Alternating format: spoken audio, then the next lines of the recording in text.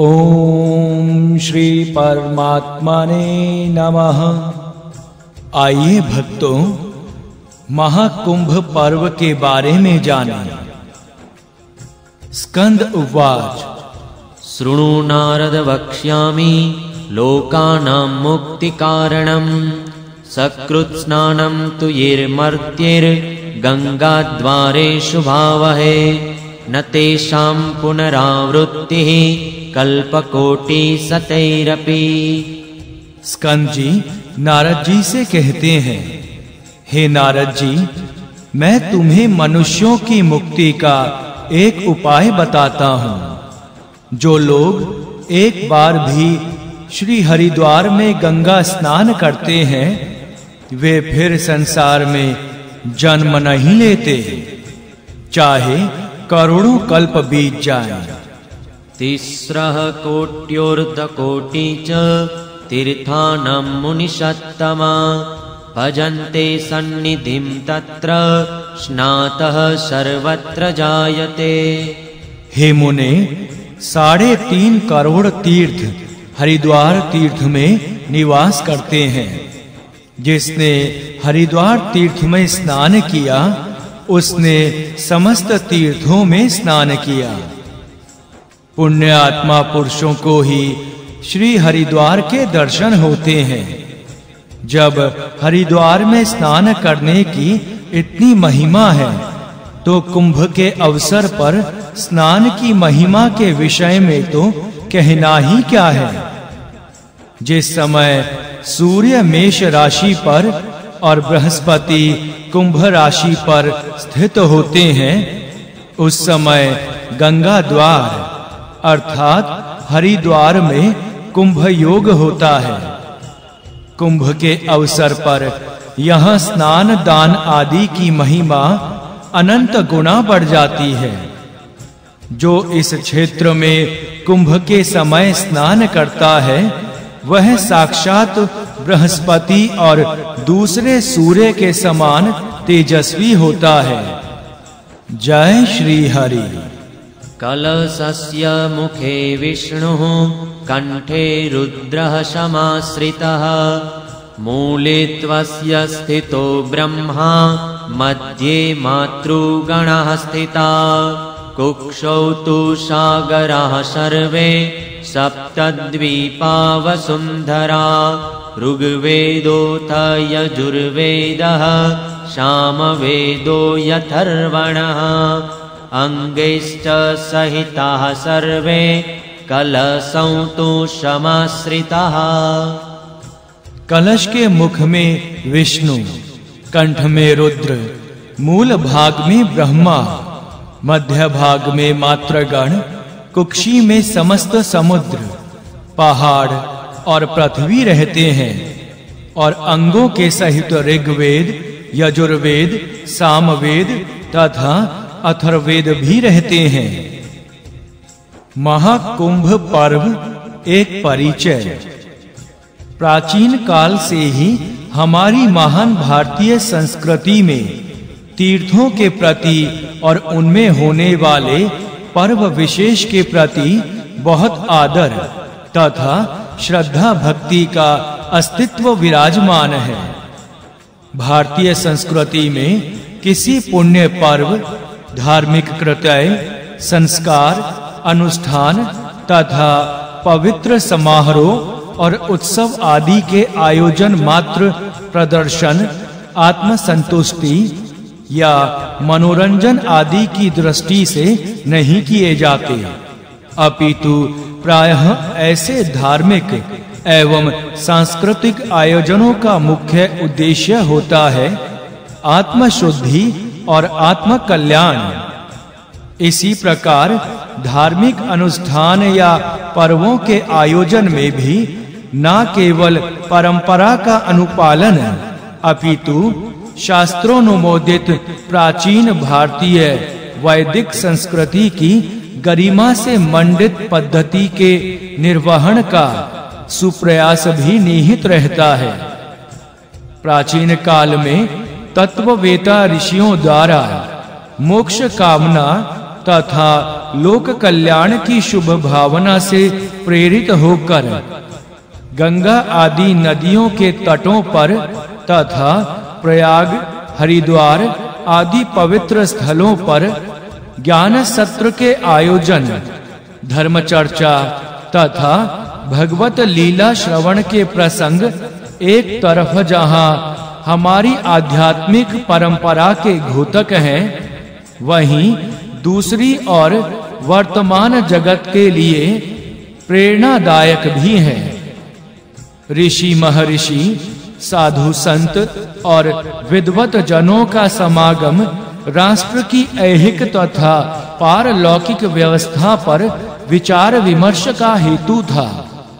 इससे समाज को नवीन चेतना प्राप्त होती थी और देश काल एवं वातावरण पर धार्मिक महत्ता का वर्चस्व भी स्थापित होता था। इस प्रकार इस प्रणाली से भारतीय समाज के विघटन को रोका जाता था। साथ ही साथ यह सद्विचारों के प्रसार एवं संगठन की एक स्वस्थ व्यवस्था थी। इसके द्वारा आत्मीयता एवं धार्मिक सौहार्द का वातावरण तैयार करने तथा सामाजिक समन्वय एवं अखंड राष्ट्र की परिकल्पना को भली भांति साकार करने में सहायता मिलती थी। कुंभ पर्व के संबंध में वेदों में अनेक महत्वपूर्ण मंत्र मिलते हैं, जिनसे सिद्ध होता है कि कुंभ पर्व अत्यंत प्राचीन और वैदिक धर्म से ओतप्रोत है। कुंभ पर्व में जाने वाला मनुष्य, स्वयं दान, होम आदि सत्कर्मों के फल स्वरूप अपने पापों को वैसे ही नष्ट करता है, जैसे कुठार वन को काट देता है।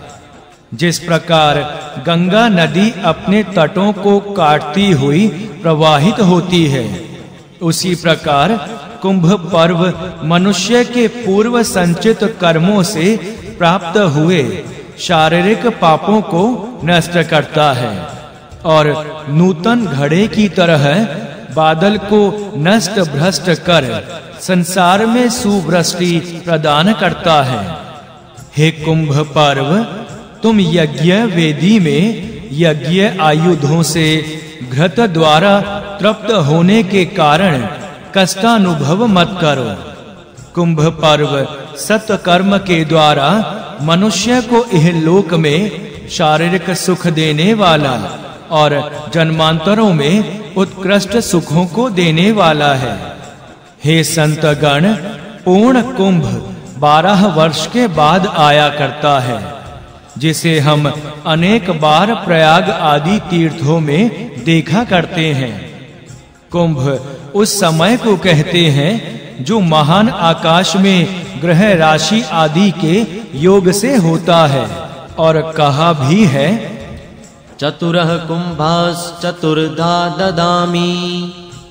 ब्रह्मा कहते हैं हे मनुष्यों मैं तुम्हें ऐहिक तथा आमुष्मिक सुखों को देने वाले चार कुंभ पर्वों का निर्माण कर चार स्थानों हरिद्वार प्रयाग उज्जैन और नासिक में प्रदान करता हूँ। कुंभिका दुषिका पीयकान।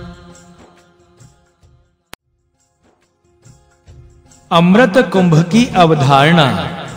वर्तमान समय में भी वसुधा के और छोर तक किसी न किसी रूप में अखिल कोटि ब्रह्मांड नायक उस परम प्रभु की व्यापक शासन शक्ति धर्म रूप से निर्बाध दृष्टि गोचर हो रही है।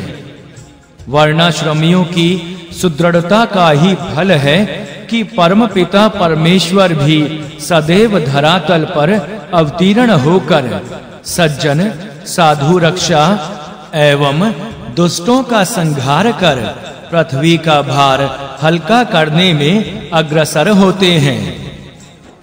यदा यदा ही धर्मस्य ग्लानिर्भवति भारत, अप्युत्थानम अधर्मस्य तदात्मानं सृजामयम् परित्राणाय साधूनां, विनाशाय च दुष्कृतां धर्म संस्थापनार्थाय संभवामि युगे युगे। नाना प्रकार के पर्वों का सृजन भी धार्मिक विज्ञानों द्वारा ही हुआ था। सबके मूल में कोई ना कोई अलौकिक विशेषता विद्यमान रहती है, जिसे विचारशील ही समझ पाते हैं। इन्हीं महापर्वों में कुंभ पर्व भी है, जो कि भारत के हरिद्वार, प्रयाग, उज्जैन और नासिक, इन चार स्थानों में मनाया जाता है। वैसे कुंभ शब्द का अर्थ साधारणतः घड़ा ही है, किंतु इसके पीछे जन समुदाय में पात्रता के निर्माण की रचनात्मक शुभ भावना मंगल कामना एवं जनमानस के उद्धार की प्रेरणा निहित है। यथार्थतः कुंभ शब्द समग्र सृष्टि के कल्याणकारी अर्थ को अपने आप में समेटे हुए है। पृथ्वी को कल्याण की आगामी सूचना देने के लिए या शुभ भविष्य के संकेत के लिए हरिद्वार प्रयाग आदि पुण्य स्थान विशेष के उद्देश्य से निर्मल महाकाश में बृहस्पति आदि ग्रह राशि उपस्थित हो, जिसमें उसे कुंभ कहते हैं। इसके अतिरिक्त अन्य न्याय जन कल्याणकारी भावों को भी कुंभ शब्द के शब्दार्थ में देखा जा सकता है। पुराणों में कुंभ पर्व की स्थापना बारह की संख्या में की गई है, जिनमें से चार मृत्यु लोक के लिए और आठ देव लोकों के लिए है। भूमंडल के मनुष्य मात्र के पाप को दूर करना ही कुंभ की उत्पत्ति का हेतु है। यह पर्व प्रत्येक बारहवें वर्ष हरिद्वार, प्रयाग उज्जैन और नासिक इन चारों स्थानों में होता रहता है। इन पर्वों में भारत के सभी प्रांतों से समस्त संप्रदायवादी स्नान, ध्यान, पूजा पाठ आदि करने के लिए आते हैं। शार समुद्र से प्रयवेष्टित भारत भूमि स्वभावतः मलिनता के कलंक पंख से युक्त है। यह पुण्य प्रक्षालित भूमि है। भौगोलिक दृष्टि से इसके चार पवित्र स्थानों में उस अमृत कुंभ की प्रतिष्ठा हुई थी, जो उस समुद्र मंथन से उद्भूत हुआ था। कालिक दृष्टि से ऐसे ग्रह योग, जो खगोल में लुप्त सुप्त अमृतत्व को प्रत्यक्ष और प्रबुद्ध कर देते हैं, चारों स्थानों में बारह बारह वर्ष पर, अर्थात द्वादश वर्षात्मक काल योग से प्रकट होते हैं। तब गंगा, हरिद्वार, त्रिवेणी जी, प्रयाग शिप्रा उज्जैन और गोदावरी, नासिक, ये पतित पावनी नदियाँ अपनी जलधारा में अमृतत्व को प्रवाहित करती हैं। अर्थात देश, काल एवं वस्तु तीनों अमृत के प्रादुर्भाव के योग्य हो जाते हैं। फल स्वरूप अमृत घट या कुंभ का अवतरण होता है। काल चक्र ना केवल जीवन के क्रियाकलाप का मूलाधार है, अपितु समस्त यज्ञ कर्म, अनुष्ठान एवं संस्कार आदि भी काल चक्र पर आधारित हैं। काल चक्र में सूर्य, चंद्रमा एवं देव गुरु बृहस्पति का महत्वपूर्ण स्थान है। इन तीनों का योग ही कुंभ पर्व का प्रमुख आधार है। जब बृहस्पति मेष राशि पर तथा चंद्रमा सूर्य मकर राशि पर स्थित हो, तब प्रयाग में अमावस्या तिथि को अति दुर्लभ कुंभ होता है। इस स्थिति में सभी ग्रह मित्रता पूर्ण और श्रेष्ठ होते हैं। हमारे जीवन में जब मित्र और श्रेष्ठ जनों का मिलन होता है, तभी श्रेष्ठ एवं शुभ विचारों का उदय होता है और हमारे जीवन में यह योग ही सुखदायक होता है। कुंभ के अवसर पर भारतीय संस्कृति और धर्म से अनुप्राणित सभी संप्रदायों के धर्मानुयायी एकत्रित होकर अपने समाज, धर्म एवं राष्ट्र की एकता, अखंडता, अक्षुणता के लिए विचार विमर्श करते हैं। स्नान, दान, तर्पण तथा यज्ञ का पवित्र वातावरण देवताओं को भी आकृष्ट किए बिना नहीं रहता। ऐसी मान्यता है कि इस महापर्व पर सभी देवगण तथा अन्य पितृ यक्ष गंधर्व आदि पृथ्वी पर उपस्थित होकर, न केवल मनुष्य मात्र, अपितु जीव मात्र को अपनी पावन उपस्थिति से पवित्र करते रहते हैं। अमृत कुंभ का स्वरूप एवं प्रार्थना मंत्र। कलश के मुख में विष्णु कंठ में रुद्र, मूल भाग में ब्रह्मा, मध्य भाग में मात्रगण, कुक्षी में समस्त समुद्र, पहाड़ और पृथ्वी रहते हैं। और अंगों के सहित ऋग्वेद, यजुर्वेद, सामवेद तथा अथर्ववेद भी रहते हैं। हे कुंभ, देव दानव के विवाद रूप में समुद्र के मथे जाने पर तुम्हारी उत्पत्ति हुई। जिसे साक्षात भगवान विष्णु ने धारण किया। उस तुम्हारे जल में समस्त तीर्थ, समस्त देवता, समस्त प्राणी, प्राण आदि स्थित रहते हैं। तुम साक्षात शिव, विष्णु और ब्रह्मा हो। आदित्य, वसु, रुद्र, सपैत्रक, विश्वेदेव आदि समस्त कार्यों के फल फलप्रद देवता तुम्हारे में सर्वदा स्थित रहते हैं। कुंभ उत्पत्ति की अमर कथा। एक समय की बात है, दैत्यों और दानवों ने बड़ी भारी सेना लेकर देवताओं पर चढ़ाई की। उस समय युद्ध में दैत्यों के सामने देवता परास्त हो गए। तब इंद्र आदि संपूर्ण देवता अग्नि को आगे करके ब्रह्मा जी की शरण में गए। वहाँ उन्होंने अपना सारा हाल ठीक-ठीक कह सुनाया। ब्रह्मा जी ने कहा, तुम लोग मेरे साथ भगवान की शरण में चलो। यह कहकर वे संपूर्ण देवताओं को साथ ले क्षीर सागर के उत्तर तट पर गए और भगवान वासुदेव को संबोधित करके बोले, हे प्रभु विष्णु शीघ्र उठिए और इन देवताओं का कल्याण कीजिए। आपकी सहायता ना मिलने से दानव इन्हें बारंबार परास्त करते हैं। उनके ऐसा कहने पर कमल के समान नेत्र वाले भगवान अंतर्यामी पुरुषोत्तम ने देवताओं के शरीर की अवस्था देखकर कहा, देवगण, मैं तुम्हारे तेज की वृद्धि करूँगा। मैं जो उपाय बतलाता हूँ, उसे तुम लोग करो।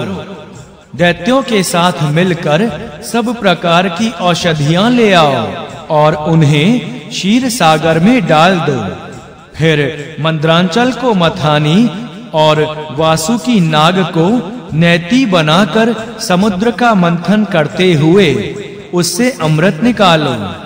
इस कार्य में मैं तुम लोगों की सहायता करूँगा। समुद्र का मंथन करने पर जो अमृत निकलेगा, उसका पान करने से तुम लोग बलवान और अमर हो जाओगे।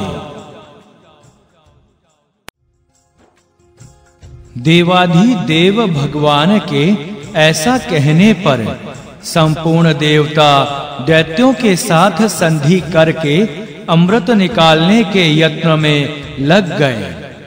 तत्पश्चात देवता और दानवों ने पृथ्वी के उत्तर भाग में हिमालय के समीप शिरोद सिंधु में मंथन किया, जिसमें मंद्रांचल मंथन दंड था। वासुकी नेति थे, कच्छप रूपधारी भगवान मंद्रांचल के पृष्ठ भाग थे, और भगवान विष्णु उक्त मंथन दंड को पकड़े हुए थे।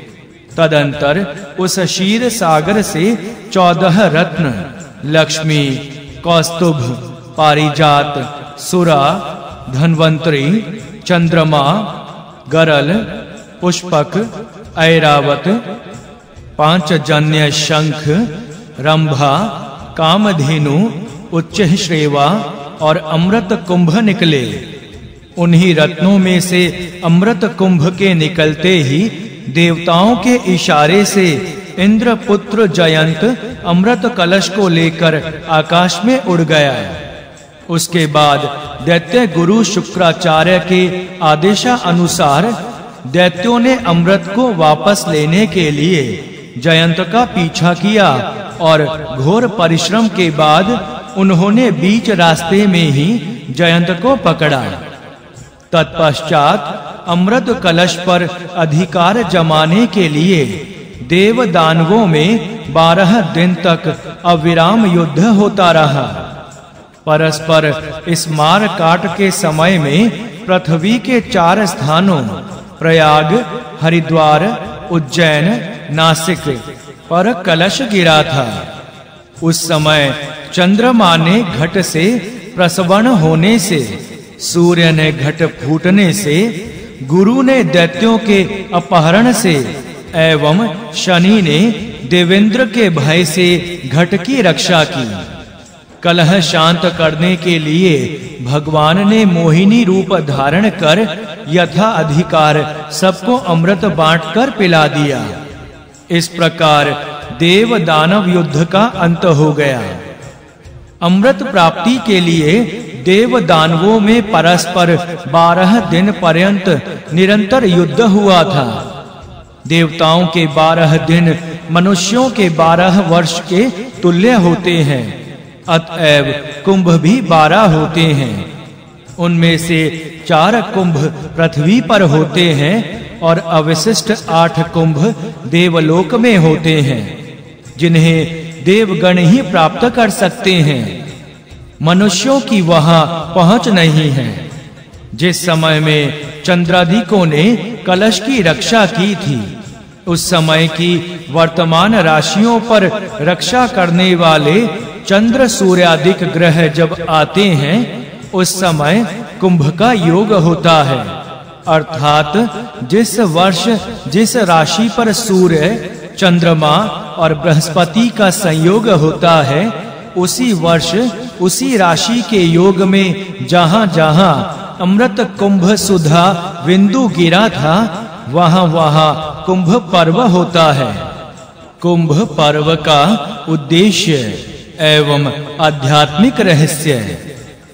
हरिद्वार, प्रयाग, उज्जैन और नासिक, इन चार कुंभ पर्व के निर्णित स्थानों में कुंभ योग के समय तत्सत संप्रदाय सम्मानित साधु महात्माओं के समवाय द्वारा संसार के सर्वविध कष्टों के निवर्त्यार्थ देश, समाज, राष्ट्र और धर्म आदि समस्त विश्व के कल्याण संपादनार्थ निष्काम भावना पुरस्पर वेदादि शास्त्र अनुकूल अमूल्य दिव्य उपदेशों से जगत कल्याण करना ही कुंभ पर्व का महान उद्देश्य है। कुंभ पर्व के आध्यात्मिक रहस्य के विषय में विचार करने पर ज्ञात होता है कि जो गृहस्थ मनुष्य पंचाग्नि विद्या को जानते हैं तथा जो वानप्रस्थी सन्यासी या नैष्ठिक ब्रह्मचारी गण सांसारिक विषय वासनाओं से विरक्त होकर श्रद्धा पूर्वक तप तथा सत्य पालन आदि का आचरण करते हैं। वे उत्तरायण मार्ग से, अर्थात अर्ची मार्ग से सूर्य लोक होते हुए ब्रह्मलोक जाते हैं। वहाँ अनेक कल्प तक निवास कर पुनः जिस मार्ग से वे गए थे, उसी मार्ग से लौटकर इंद्र आदि लोकों में ही रहते हैं। और वे भूलोक में नहीं आते। इंद्र आदि लोकों में रहते हुए सौभाग्यवश गुरु उपदेश द्वारा ज्ञान प्राप्ति हो जाने के कारण मोक्ष की प्राप्ति हो जाती है, जिससे वे इस संसार में नहीं आते हैं। प्रत्युत ब्रह्म में ही लीन हो जाते हैं और जो साधारण गृहस्थ जन ग्राम में ही रहते हुए ईष्ट अग्निहोत्र आदि वैदिक कर्म तथा पूर्त, वापी, कूप, तड़ाग आदि प्रतिष्ठा तथा दान यज्ञ आदि का आचरण करते हैं, वे दक्षिणायन मार्ग से अर्थात धूम मार्ग से चंद्रलोक जाते हैं। वहाँ वे पुण्यशय पर्यंत निवास कर, फिर बादल आदि बनकर, इस पृथ्वी पर औषध, तृण तथा वनस्पति रूप में वृष्टि द्वारा पैदा होते हैं। जो मनुष्य पंचाग्नि विद्या आदि से तथा अग्निहोत्र, वापी, कूप, तड़ाग आदि प्रतिष्ठा, दान, यज्ञ आदि से भी वंचित रहते हैं वे कीट, पतंग आदि की योनियों में जाते हैं और बार-बार जन्म मरण जन्य कलेश को भोगते हैं। इस प्रकार मरने के बाद मनुष्यों की उत्तम, मध्यम तथा अधम ये तीन गतियाँ उपनिषदों में वर्णित हैं। जो मनुष्य मरण से पहले ही गुरु उपदेश द्वारा तत्व ज्ञान प्राप्त कर लेते हैं, उनकी मरने के समय प्राणों के साथ आत्मा पूर्वोक्त मार्गों में से किसी भी मार्ग का अनुसरण नहीं करती। अपितु हृदय में ही ब्रह्म में लीन हो जाती है।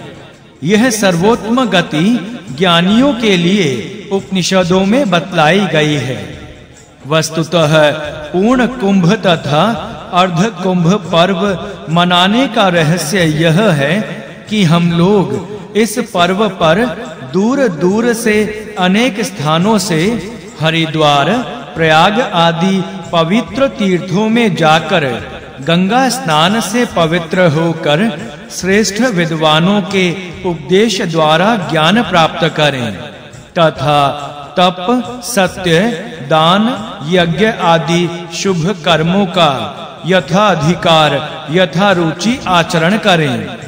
जिससे मृत्यु के बाद हमें सर्वोत्तम, उत्तम या मध्यम गति प्राप्त हो और अधम गति कदापि ना मिले। कुंभ पर्व के आद्य प्रवर्तक भगवान शंकराचार्य, जिस कुंभ पर्व का उल्लेख वेदों और पुराणों में मिलता है, उसकी प्राचीनता के संबंध में तो किसी को संदेह होने का अवसर ही नहीं है।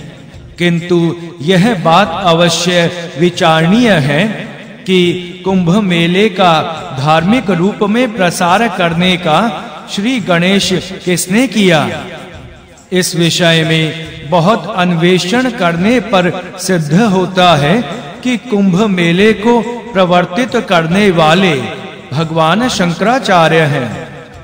ऐसा प्रतीत होता है कि उन्होंने कुंभ पर्व के प्रचार की व्यवस्था केवल धार्मिक संस्कृति को सुदृढ़ करने के लिए किया था।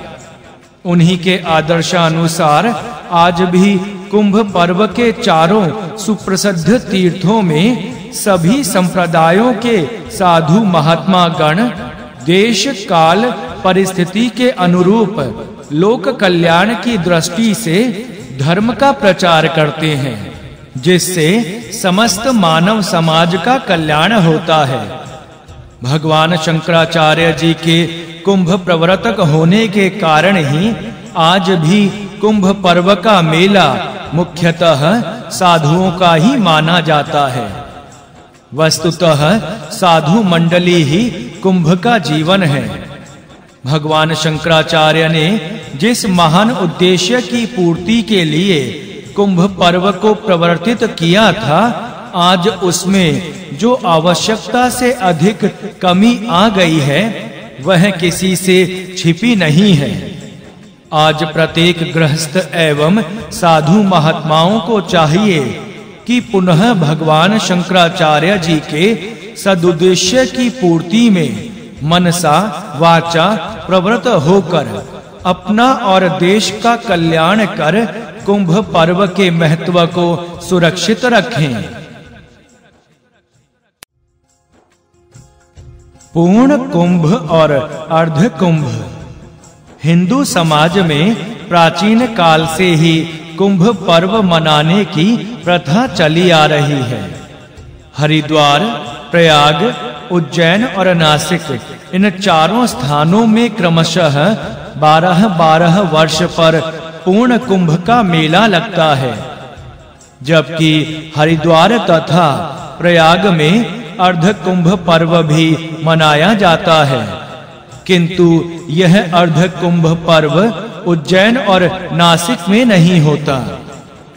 अर्ध कुंभ पर्व के प्रारंभ होने के संबंध में कुछ लोगों का विचार है कि मुगल साम्राज्य में हिंदू धर्म पर जब अधिक कुठारा घात होने लगा, उस समय चारों दिशाओं के शंकराचार्यों ने हिंदू धर्म की रक्षा के लिए हरिद्वार एवं प्रयाग में साधु महात्माओं एवं बड़े-बड़े विद्वानों को बुलाकर विचार विमर्श किया था।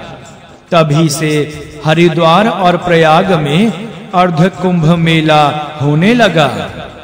शास्त्रों में जहाँ कुंभ पर्व की चर्चा प्राप्त है, वहाँ पूर्ण कुंभ का ही उल्लेख मिलता है। हे संतगण, पूर्ण कुंभ बारह वर्ष के बाद आता है, जिसे हम अनेक बार हरिद्वार, प्रयाग, उज्जैन और नासिक इन चार तीर्थ स्थानों में देखा करते हैं। कुंभ उस काल विशेष को कहते हैं जो महान आकाश में ग्रह राशि आदि के योग से होता है।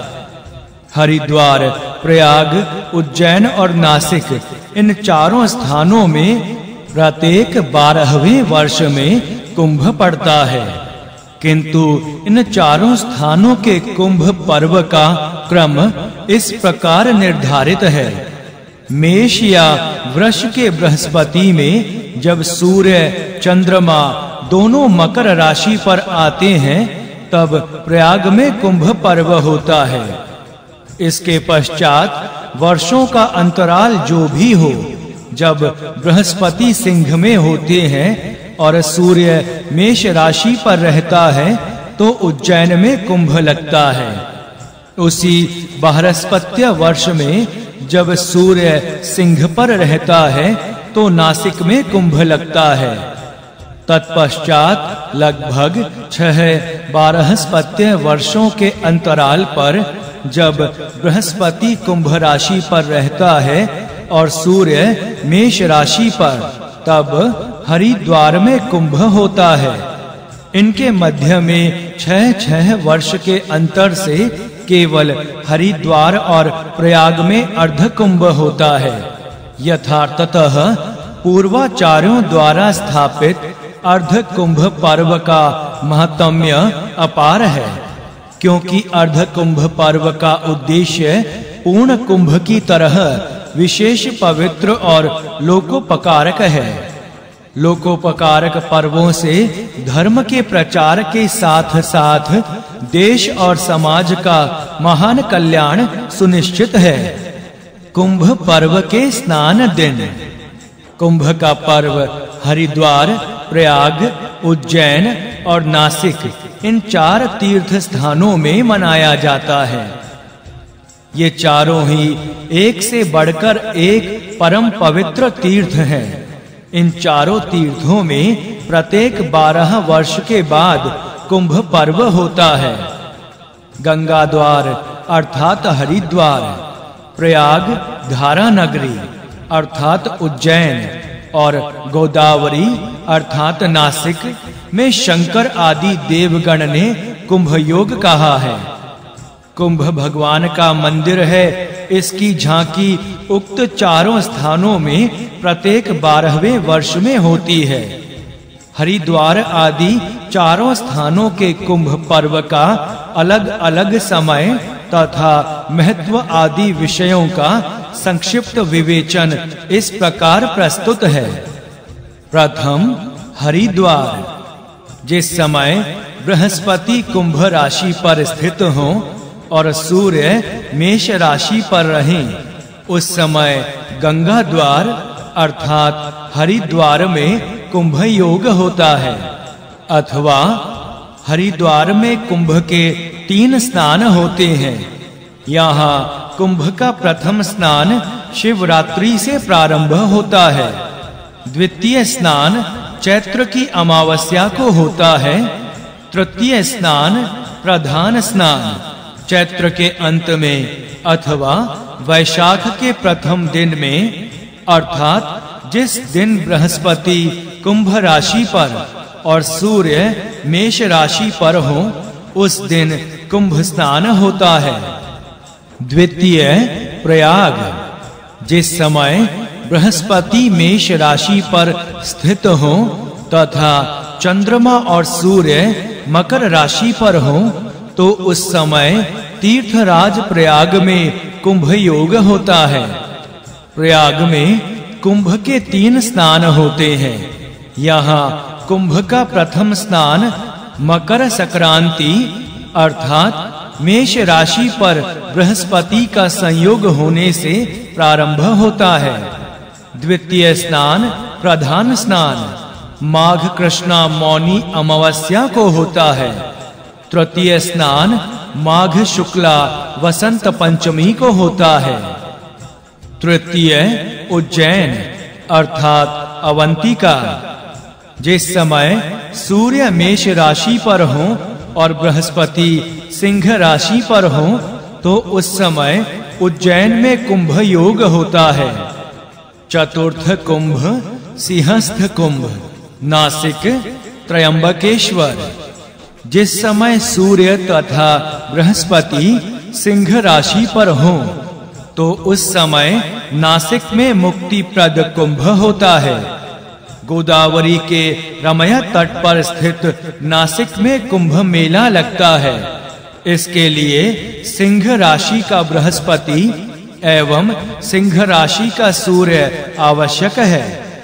इस पर्व का स्नान भाद्रपद में अमावस्या तिथि को होता है।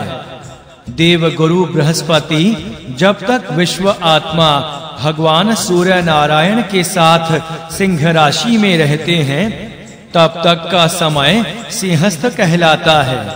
इस सिंहस्थ काल में श्री नासिक तीर्थ की यात्रा पवित्र गोदावरी नदी में स्नान एवं त्रयंबकेश्वर ज्योतिर्लिंग के दर्शन लाभ का बड़ा महत्वमय है। यहीं पंचवटी में भगवान श्री राम ने वनवास का दीर्घ काल व्यतीत किया था। कुंभ पर्व का महत्वमय हिंदू धर्म शास्त्र कुंभ पर्व की महिमा से भरे पड़े हैं। स्कंद पुराण का वचन है कि जो मनुष्य कुंभ योग में स्नान करता है, वह अमृतत्व अर्थात मुक्ति की प्राप्ति करता है। जिस प्रकार दरिद्र मनुष्य संपत्तिशाली को नम्रता से अभिवादन करता है, उसी प्रकार कुंभ पर्व में स्नान करने वाले मनुष्य को देवगण नमस्कार करते हैं। संक्षेप में, हरिद्वार, प्रयाग, उज्जैन तथा नासिक में कुंभ स्नान का महत्व इस प्रकार है। प्रथम, हरिद्वार स्नान की महिमा। कुंभ राशि में बृहस्पति हो तथा मेष राशि पर सूर्य हो तो हरिद्वार के कुंभ में स्नान करने से मनुष्य पुनर्जन्म से रहित हो जाता है। द्वितीय, प्रयाग स्नान की महिमा। कार्तिक महीने में एक हज़ार बार गंगा में स्नान करने से, माघ में सौ बार गंगा में स्नान करने से और वैशाख में करोड़ बार नर्मदा नदी में स्नान करने से जो फल प्राप्त होता है वह प्रयाग में कुंभ पर्व पर केवल एक ही बार स्नान करने से प्राप्त हो जाता है। श्री विष्णु पुराण में कहा गया है कि हज़ार अश्वमेध यज्ञ करने से, सौ वाजपेय यज्ञ करने से और लाख बार पृथ्वी की प्रदक्षिणा करने से जो फल प्राप्त होता है वह फल केवल प्रयाग के कुंभ के स्नान से प्राप्त हो जाता है। तृतीय, उज्जैन स्नान की महिमा। कुश स्थली महाक्षेत्रम, योगी नाम स्थान दुर्लभम। माधवे ध्वले, पक्षे सिंहे, जीवे अजय रवो। तुला राशो निशानाथे, पूर्णायाम, पूर्णिमातिथो। व्यति पाते तु संजाते चंद्रवासर संयुते उज्जयनायाम महायोगे स्नाने मोक्षमवापनुया अन्यत्र भी आया है धारायाम च कदा कुंभो जायते खलु मुक्तिदह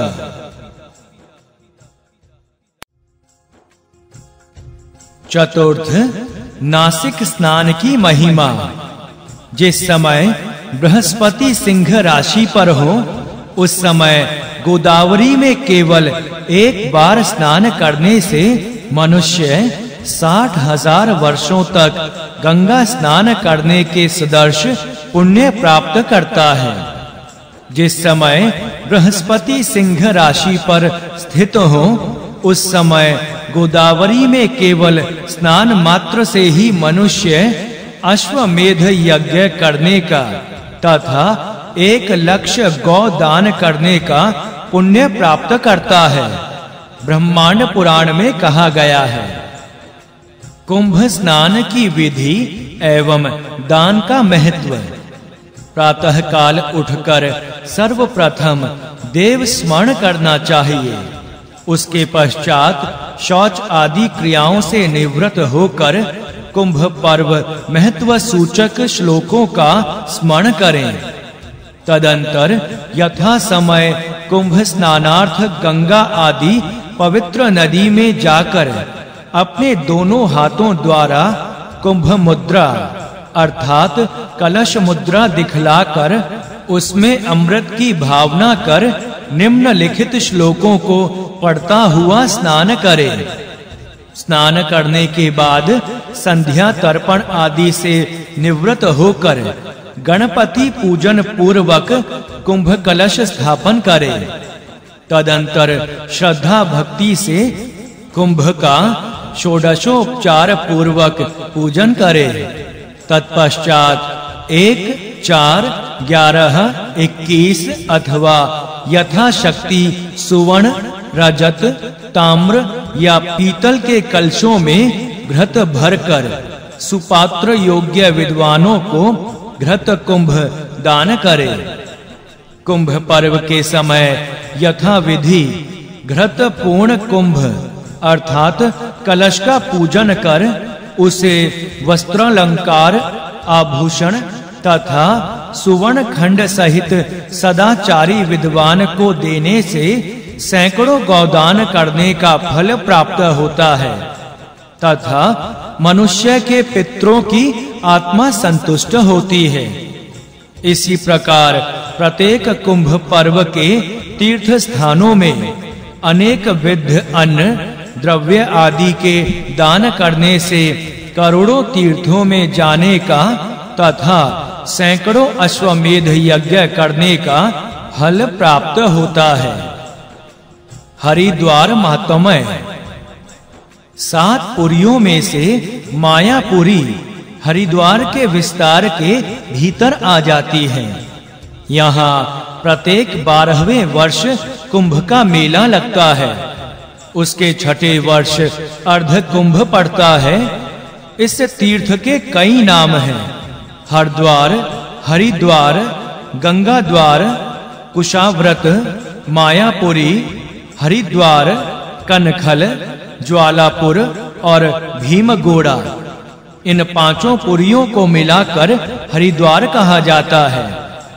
राजा भगीरथ के पीछे चलने वाली अलकनंदा गंगा सहस्त्रों पर्वतों को विदीर्ण करती हुई, जहाँ भूमि पर उतरी है, जहाँ पूर्व काल में दक्ष प्रजापति ने यज्ञेश्वर भगवान विष्णु का यजन किया है वह पुण्यदायक क्षेत्र हरिद्वार ही गंगा द्वार है, जो मनुष्यों के समस्त पातकों का नाश करने वाला है। प्रजापति दक्ष के यज्ञ में इंद्र आदि सब देवता बुलाए गए थे, और वे सब अपने अपने गणों के साथ यज्ञ में भाग लेने की इच्छा से वहाँ आए थे।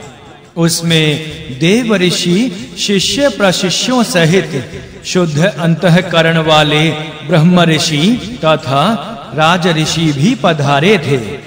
पिनाक पाणी भगवान शंकर को छोड़कर अन्य सभी देवताओं को निमंत्रित किया गया था।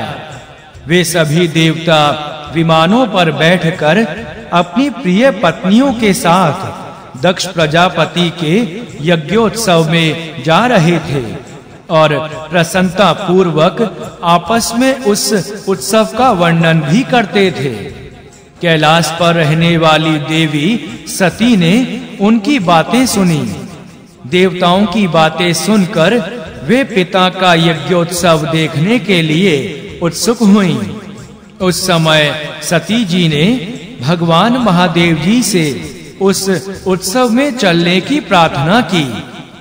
उनकी बात सुनकर भगवान शिव ने कहा, देवी, वहाँ जाना कल्याण कर नहीं होगा।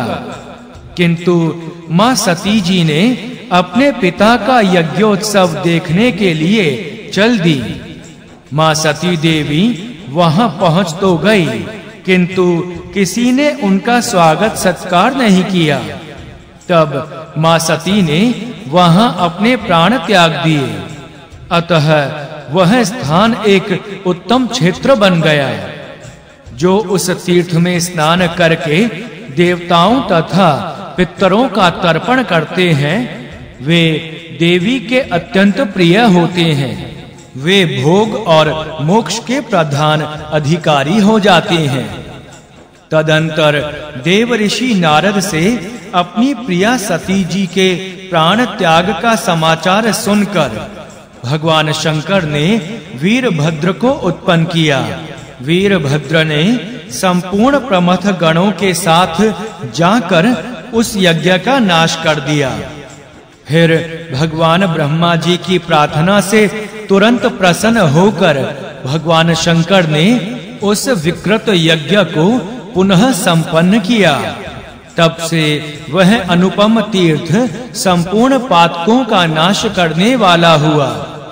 उस तीर्थ में विधि पूर्वक स्नान करके मनुष्य जिस जिस कामना का चिंतन करता है, उसे अवश्य प्राप्त कर लेता है।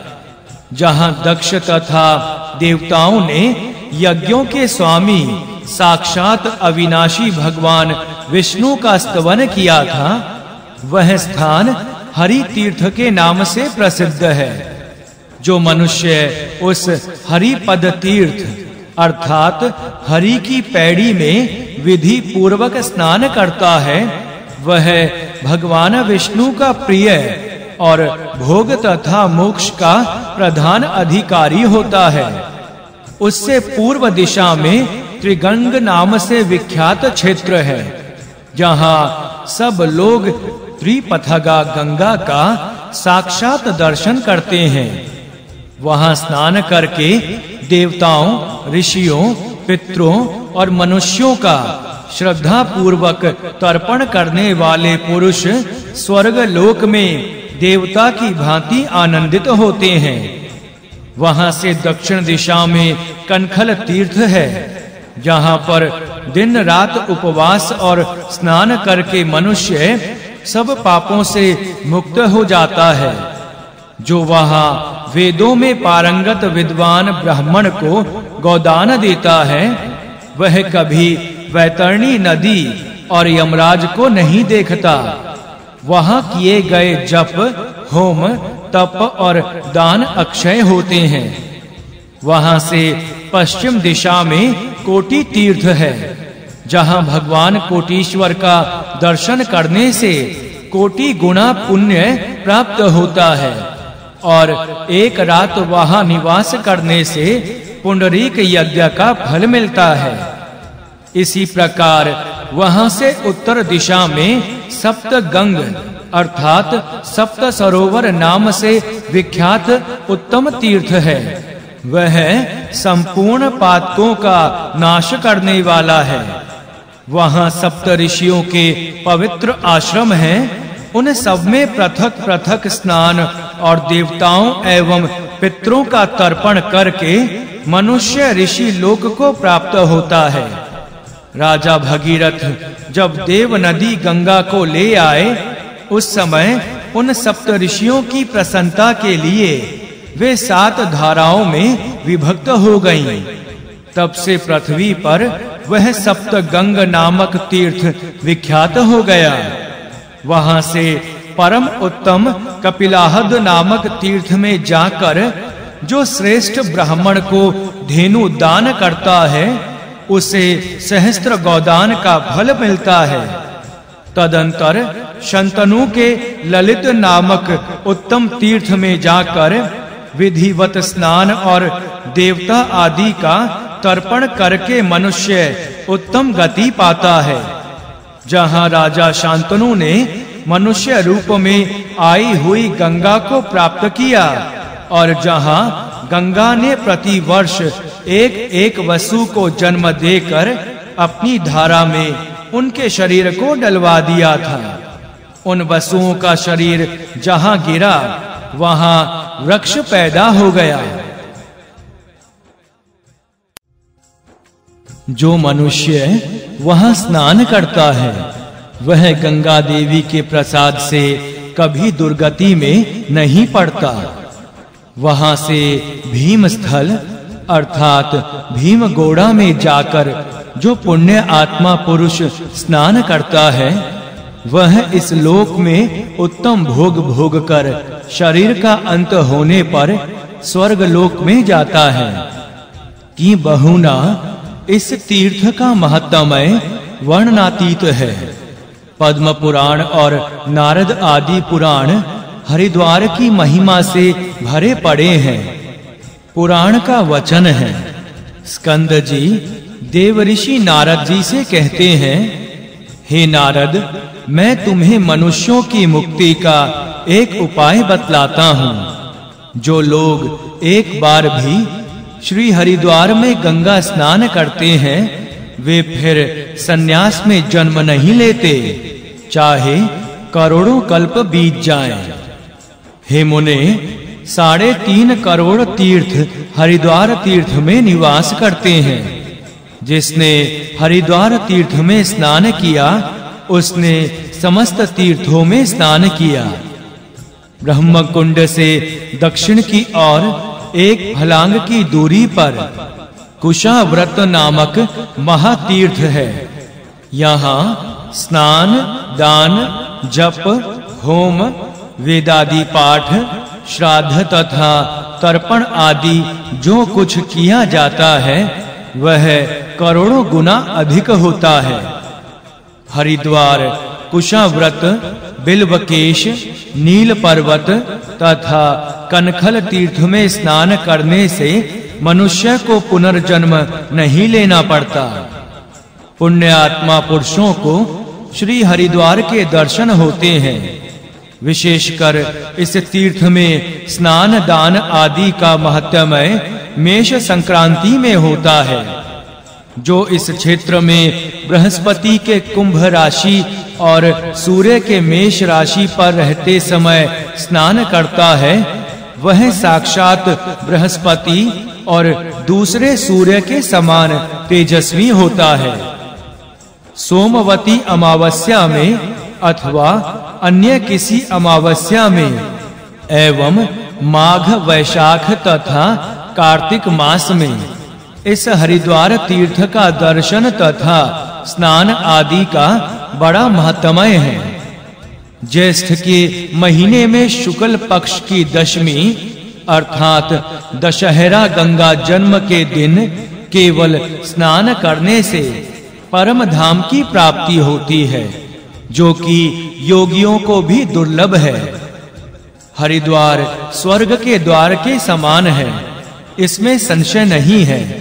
वहाँ जो एकाग्र होकर कोटि तीर्थ में स्नान करता है, उसे पुंडरीक यज्ञ का फल मिलता है, तथा वह अपने कुल का उद्धार कर देता है। वहाँ एक रात निवास करने से सहस्त्र गौदान का फल प्राप्त होता है। सप्तगंगा, त्रिगंगा और शक्राव्रत में विधि पूर्वक देव ऋषि पितृ तर्पण करने वाला पुण्य लोक में प्रतिष्ठित होता है।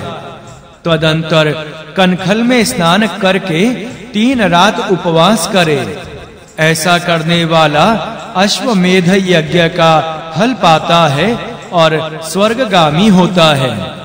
इतना ही नहीं, जो मानव दूर रहकर भी गंगा द्वार का स्मरण करता है, वह उसी प्रकार सदगति पाता है।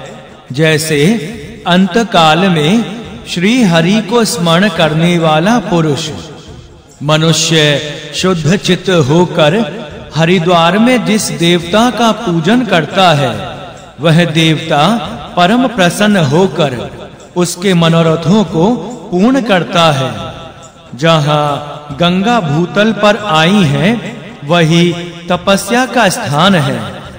वही जप का स्थल है और वही होम का स्थान है, जो मनुष्य नियम पूर्वक रहकर तीनों समय स्नान करके वहाँ गंगा सहस्त्र नाम का पाठ करता है, वह अक्षय संतति पाता है, जो नियम पूर्वक भक्ति भाव से गंगा द्वार में पुराण सुनता है, वह अविनाशी पद को प्राप्त होता है, जो श्रेष्ठ मानव हरिद्वार का महत्व सुनता है, अथवा भक्ति भाव से उसका पाठ करता है, वह भी स्नान का फल पाता है।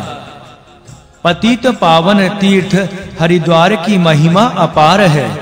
इसके विषय में पद्म पुराण का एक पुण्यमय उपाख्यान है। एक समय की बात है, कुरुक्षेत्र में नगर से बाहर। कालिंग नामक एक पापी चांडाल रहता था। एक बार सूर्य ग्रहण के समय आए हुए एक धनी वैश्य के पीछे वह लग गया और कुरुक्षेत्र से उस वैश्य के लौटने के समय इसी हरिद्वार में आधी रात के वक्त उस पापी ने वैश्य के खेमे में चोरी करने की चेष्टा की और दो पहरेदारों को मार डाला। इसी समय वैश्य के एक सेवक ने दूर से बाण मारा, जिससे भागता हुआ वह पापी भी मर गया। तदंतर चांडाल द्वारा मारे हुए वैश्य के दोनों पहरेदार और वह चांडाल तीनों देवताओं के द्वारा लाए हुए विमान पर चढ़कर वैश्य से बोले, देखो, इस तीर्थ का महत्व है। यह हरिद्वार पापियों का भी कल्याण करने वाला है। ऐसा कहकर वे स्वर्गलोक को चले गए। दूसरे दिन वैश्य ने अपने दोनों पहरेदारों के शरीरों का दह संस्कार कराकर उनकी हड्डियाँ हरिद्वार तीर्थ में डलवा दी। इसके परिणाम स्वरूप वे दोनों भाग्यवान स्वर्ग से लौटकर भगवान विष्णु के परम धाम में चले गए। तदंतर बुद्धिमान वैश्य ने अपने घर जाकर सांसारिक कार्यों को धर्म पूर्वक करते हुए भगवान की भक्ति में मन लगाया और अंत में इसी वैकुंठ धाम की प्राप्ति कराने वाले तीर्थ में आकर मृत्यु को प्राप्त हुआ। बोलिए हरिद्वार तीर्थ की जय। जय जय श्री हरि, जय जय श्री हरि, जय जय शिव शंकर, जय जय शिव शंकर। प्रयाग महात्मय, प्रयाग तीर्थराज कहे जाते हैं। समस्त तीर्थों के ये अधिपति हैं। सातों पुरियाँ इनकी रानियाँ कही गई हैं। गंगा यमुना की धारा ने पूरे प्रयाग के क्षेत्र को तीन भागों में बांट दिया है। ये तीनों भाग अग्नि स्वरूप यज्ञ वेदी माने जाते हैं। इनमें गंगा यमुना के मध्य का भाग ग्रहपत्य अग्नि, गंगा पार का भाग अलर्कपुर अरैल, दक्षिणा अग्नि माना जाता है। इन भागों में पवित्र होकर एक एक रात्रि निवास करने से इन अग्नियों की उपासना का फल प्राप्त होता है। प्रयाग में प्रति वर्ष माघ मास में मेला लगता है, इसे कल्पवास कहते हैं। बहुत से श्रद्धालु यात्री प्रति वर्ष गंगा यमुना के मध्य में कल्पवास करते हैं। कल्पवास कोई सौर मास की मकर संक्रांति से कुंभ की संक्रांति तक मानते हैं और कोई चंद्र मास के अनुसार माघ महीने भर को मानते हैं। यहाँ प्रति बारहवें वर्ष कुंभ होता है। कुंभ से छठे वर्ष अर्ध कुंभ पड़ता है। इस अवसर पर भी माघ भर प्रयाग में भारी मेला रहता है। इतिहासकारों का कथन है कि पर्व के दिनों में सम्राट हर्षवर्धन प्रयाग में आकर अपना सर्वस्व दान कर दिया करता था। प्रयाग में गंगा यमुना के संगम स्नान करके प्राणी पापों से मुक्त होकर स्वर्गलोक का अधिकारी हो जाता है और इस क्षेत्र में देह त्यागने वाले प्राणी की मुक्ति हो जाती है। ऐसे वचन पुराणों में प्राप्त होते हैं। प्रयाग के महत्वमय से सारा वैदिक साहित्य भरा पड़ा है। पद्म पुराण का वचन है, जैसे ग्रहों में सूर्य तथा ताराओं में चंद्रमा है, वैसे ही तीर्थों में प्रयाग सर्वोत्तम है। जो पुरुष यहाँ के अक्षय वट का दर्शन करता है उसके दर्शन मात्र से ब्रह्म हत्या नष्ट हो जाती है। यह अक्षय वट, आदि वट कहलाता है और कल्पांत में भी देखा जाता है। इसके पत्ते पर भगवान विष्णु स्वयं शयन करते हैं। अतः यह वट अव्यय समझा जाता है। वहाँ भगवान माधव नाम से सुख पूर्वक नित्य विराजते हैं। उनका दर्शन करना चाहिए। ऐसा करने से मनुष्य महापापों से मुक्त हो जाता है। गोधाती, चांडाल, शठ, दुष्ट चित्त, बालघाती या मूर्ख जो भी यहाँ मरता है, वह चतुर्भुज होकर अनंत काल तक वैकुंठ में वास करता है। देवर्षि, प्रयाग में जो माघ स्नान करता है, उसके पुण्य फल की कोई गणना नहीं है। मत्स्य पुराण में आया है कि तीर्थराज प्रयाग की महिमा के विषय में महाराज युधिष्ठिर के द्वारा पूछने पर मार्कंडेय ऋषि जी ने कहा है कि, हे राजन, प्रयाग महात्मय का वर्णन सैकड़ों वर्षों में भी नहीं किया जा सकता है। फिर भी मैं संक्षेप में वर्णन कर रहा हूँ। प्रयाग में साठ हज़ार धनुर्धर वीर गंगा की रक्षा करते हैं, तथा सात घोड़ों से जुते हुए रथ पर चलने वाले सूर्य सदा यमुना की देखभाल करते रहते हैं। इंद्र विशेष रूप से सदा प्रयाग की रक्षा में तत्पर रहते हैं। श्री हरि देवताओं को साथ लेकर पूरे प्रयाग मंडल की रखवाली करते हैं। महेश्वर हाथ में त्रिशूल लेकर सदा वट वृक्ष की रक्षा करते हैं। देवगण इस सर्व पापहारी, मंगलमय स्थान की रक्षा में तत्पर रहते हैं। इसलिए इस लोक में अधर्म से घिरा हुआ मनुष्य प्रयाग क्षेत्र में प्रवेश नहीं कर सकता। नरेश्वर, यदि किसी का स्वल्प अथवा उससे भी थोड़ा पाप होगा तो वह सारा का सारा प्रयाग का स्मरण करने से नष्ट हो जाएगा। क्योंकि ऐसा विधान है कि प्रयाग तीर्थ के दर्शन, नाम संकीर्तन अथवा मृतिका का स्पर्श करने से मनुष्य पाप से मुक्त हो जाता है। राजेंद्र प्रयाग क्षेत्र में पाँच कुंड हैं। उन्हीं की मध्य में गंगा बहती है। इसलिए प्रयाग में प्रवेश करते ही उसी क्षण पाप नष्ट हो जाता है। मनुष्य कितना भी बड़ा पापी क्यों ना हो। यदि वह हज़ारों योजन दूर से भी गंगा का स्मरण करता है तो उसे परम गति की प्राप्ति होती है। गंगा का नाम लेने से मनुष्य पाप से छूट जाता है। दर्शन करने से उसे जीवन में मांगलिक अवसर देखने को मिलते हैं। तथा स्नान और जलपान करके तो वह अपनी सात पीढ़ियों को पावन बना देता है। वहाँ सूर्य कन्या महाभागा यमुना देवी, जो तीनों लोकों में विख्यात है, नदी रूप में आई हुई हैं। और साक्षात भगवान शंकर वहाँ नित्य निवास करते हैं। इसलिए हे युधिष्ठिर, यह पुण्य प्रद प्रयाग मनुष्यों के लिए दुर्लभ है। राजेंद्र, देव दानव गंधर्व ऋषि, सिद्ध चारण आदि गंगा जल का स्पर्श कर स्वर्ग लोक में विराजमान होते हैं। दुखियों, दरिद्रों और निश्चित व्यवसाय करने वालों के कल्याण के लिए प्रयाग क्षेत्र ही प्रशस्त कहा गया है। इसे कभी कहीं प्रकट नहीं करना चाहिए।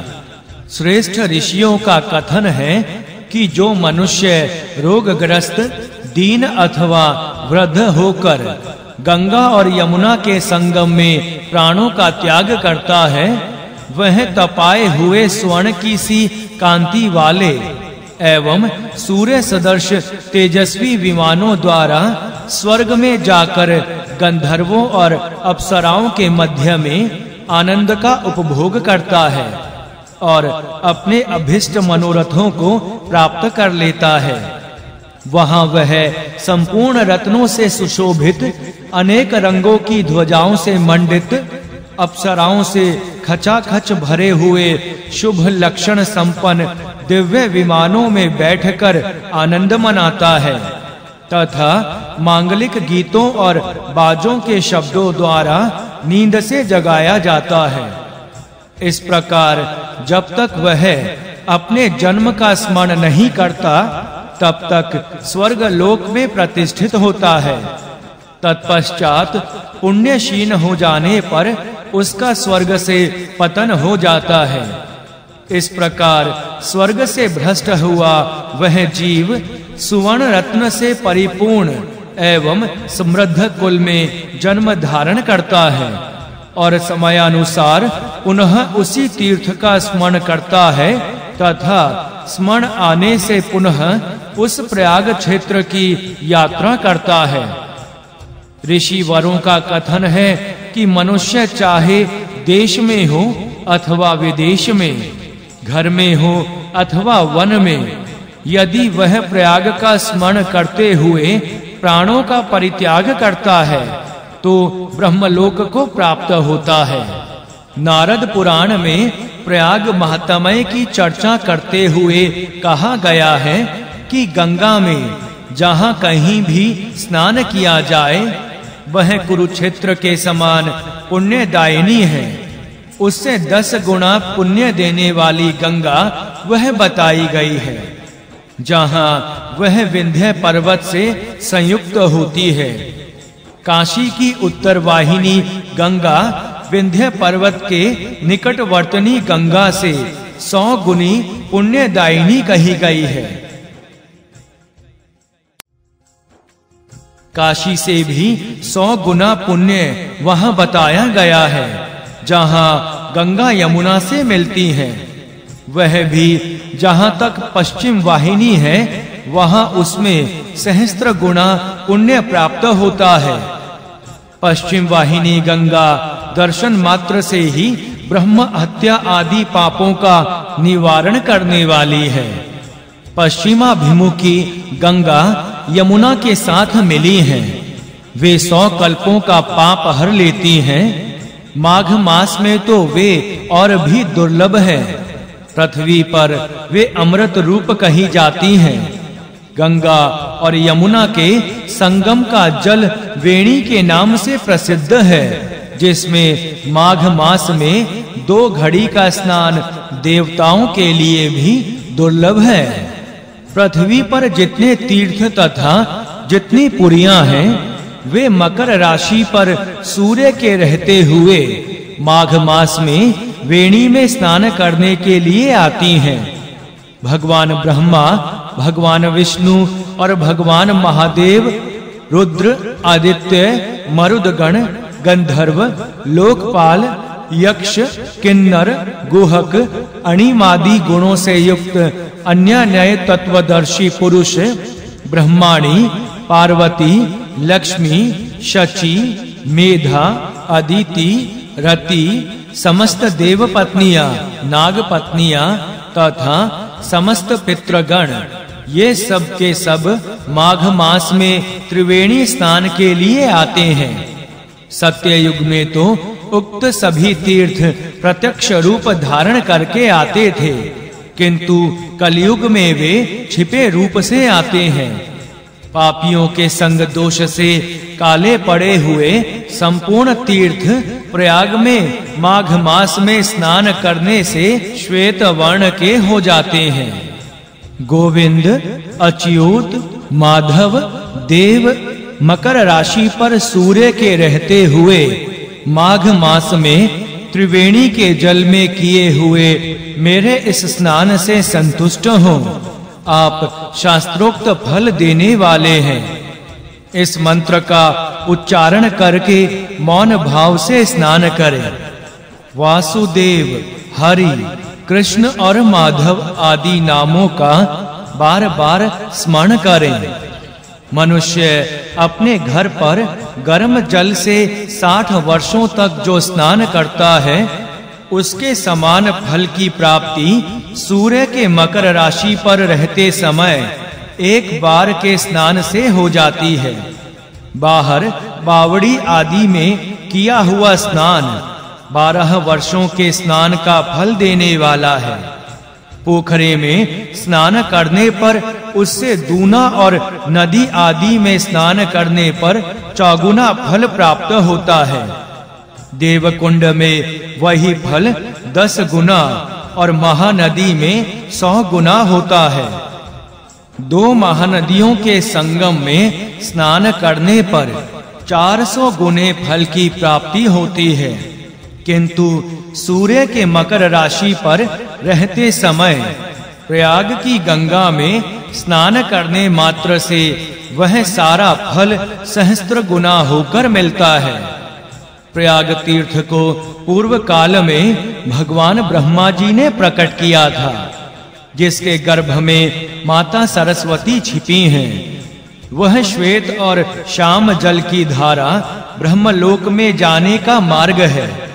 गंगा का जल यदि माघ मास में सुलभ हो तो वह पाप रूपी ईंधन को जलाने के लिए दावानल, गर्भवास के कष्ट को नाश करने वाला तथा विष्णु लोक एवं मोक्ष की प्राप्ति कराने वाला बताया गया है।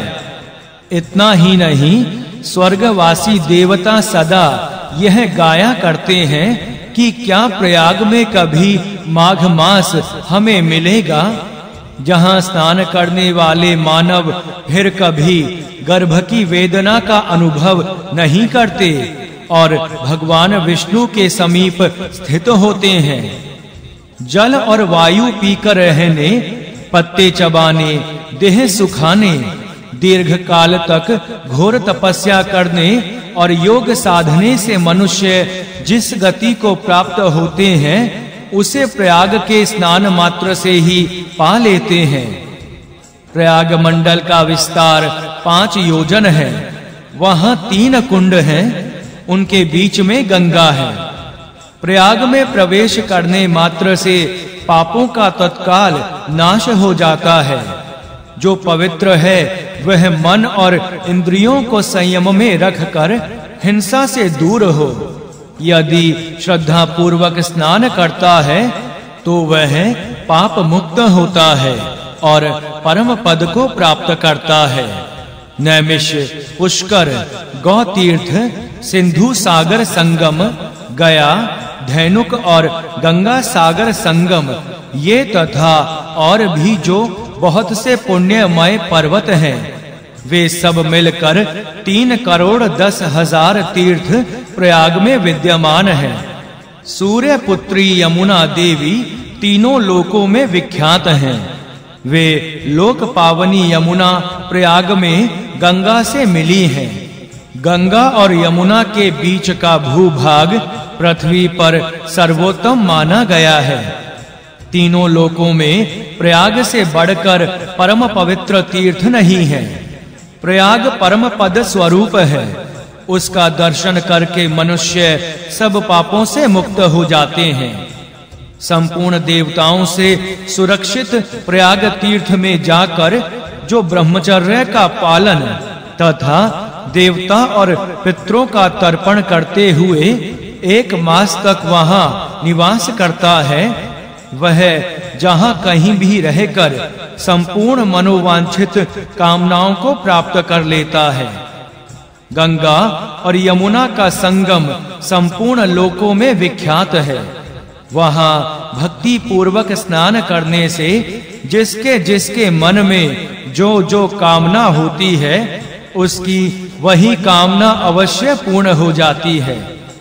हरिद्वार, प्रयाग और गंगा सागर संगम में स्नान करने मात्र से मनुष्य अपनी रुचि के अनुसार भगवान ब्रह्मा, भगवान विष्णु तथा भगवान शिव के धाम में चला जाता है। माघ मास में सीता सित संगम के जल में जो स्नान किया जाता है, वह सौ कोटि कल्पों में भी कभी पुनरावृत्ति का अवसर नहीं देता। प्रयाग के ही अंतर्गत प्रतिष्ठानपुर, झूसी में एक अत्यंत विख्यात कूप है। वहाँ मन को संयम में रखकर स्नान करने के पश्चात देवताओं और पितरों का तर्पण करे और ब्रह्मचर्य का पालन करते हुए क्रोध को जीते। इस प्रकार जो तीन रात वहाँ निवास करता है, वह सब पापों से शुद्ध चित्त हो, अश्वमेध यज्ञ का फल पाता है। प्रतिष्ठान से उत्तर और भगीरथी से पूर्व हंस प्रतपन नामक लोक विख्यात तीर्थ हैं। वहाँ स्नान करने मात्र से अश्वमेघ यज्ञ का फल प्राप्त होता है। और जब तक चंद्रमा और सूर्य रहते हैं तब तक वह स्वर्ग लोक में प्रतिष्ठित होता है। तदंतर वासुकी नाग से उत्तर भोगवती के पास जाकर दशावमेघ तीर्थ है। वह परम उत्तम माना गया है।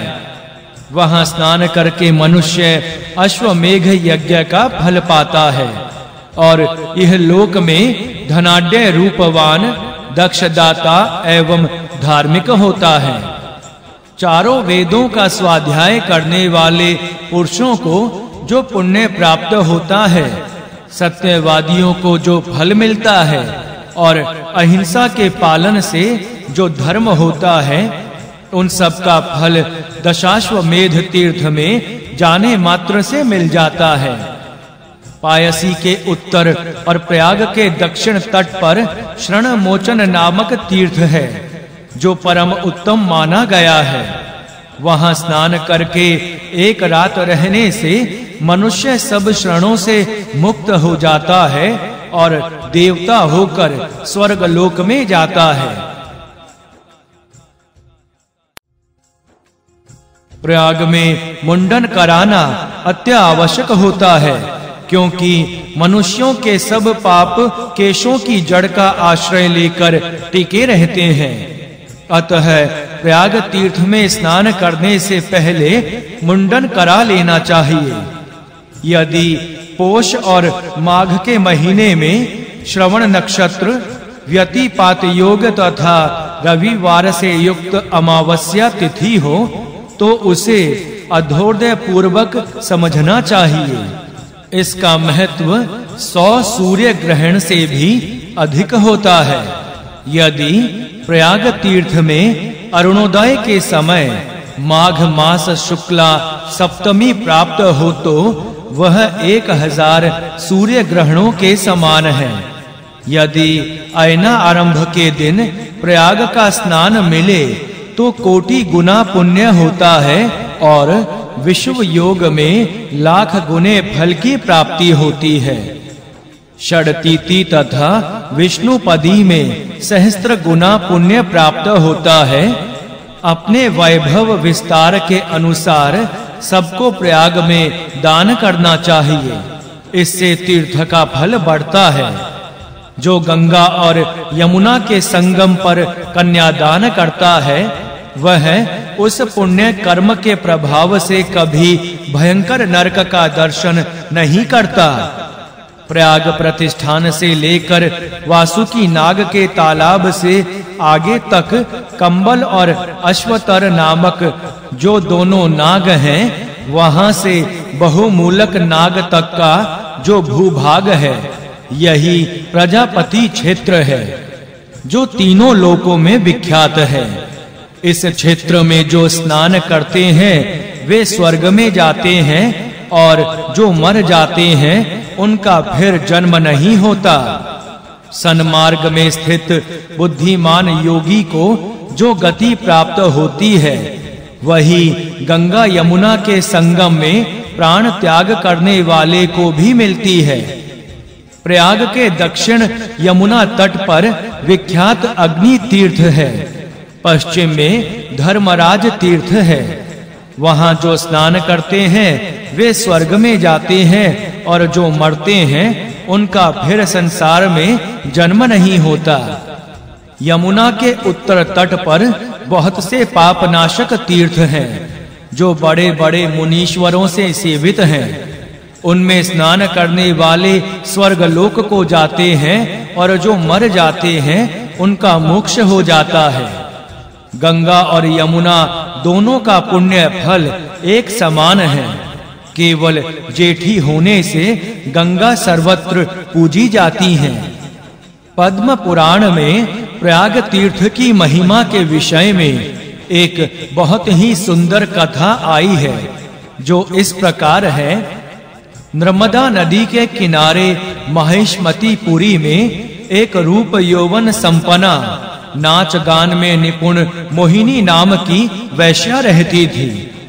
धन के लोभ में उसने अनेक महापाप किए थे।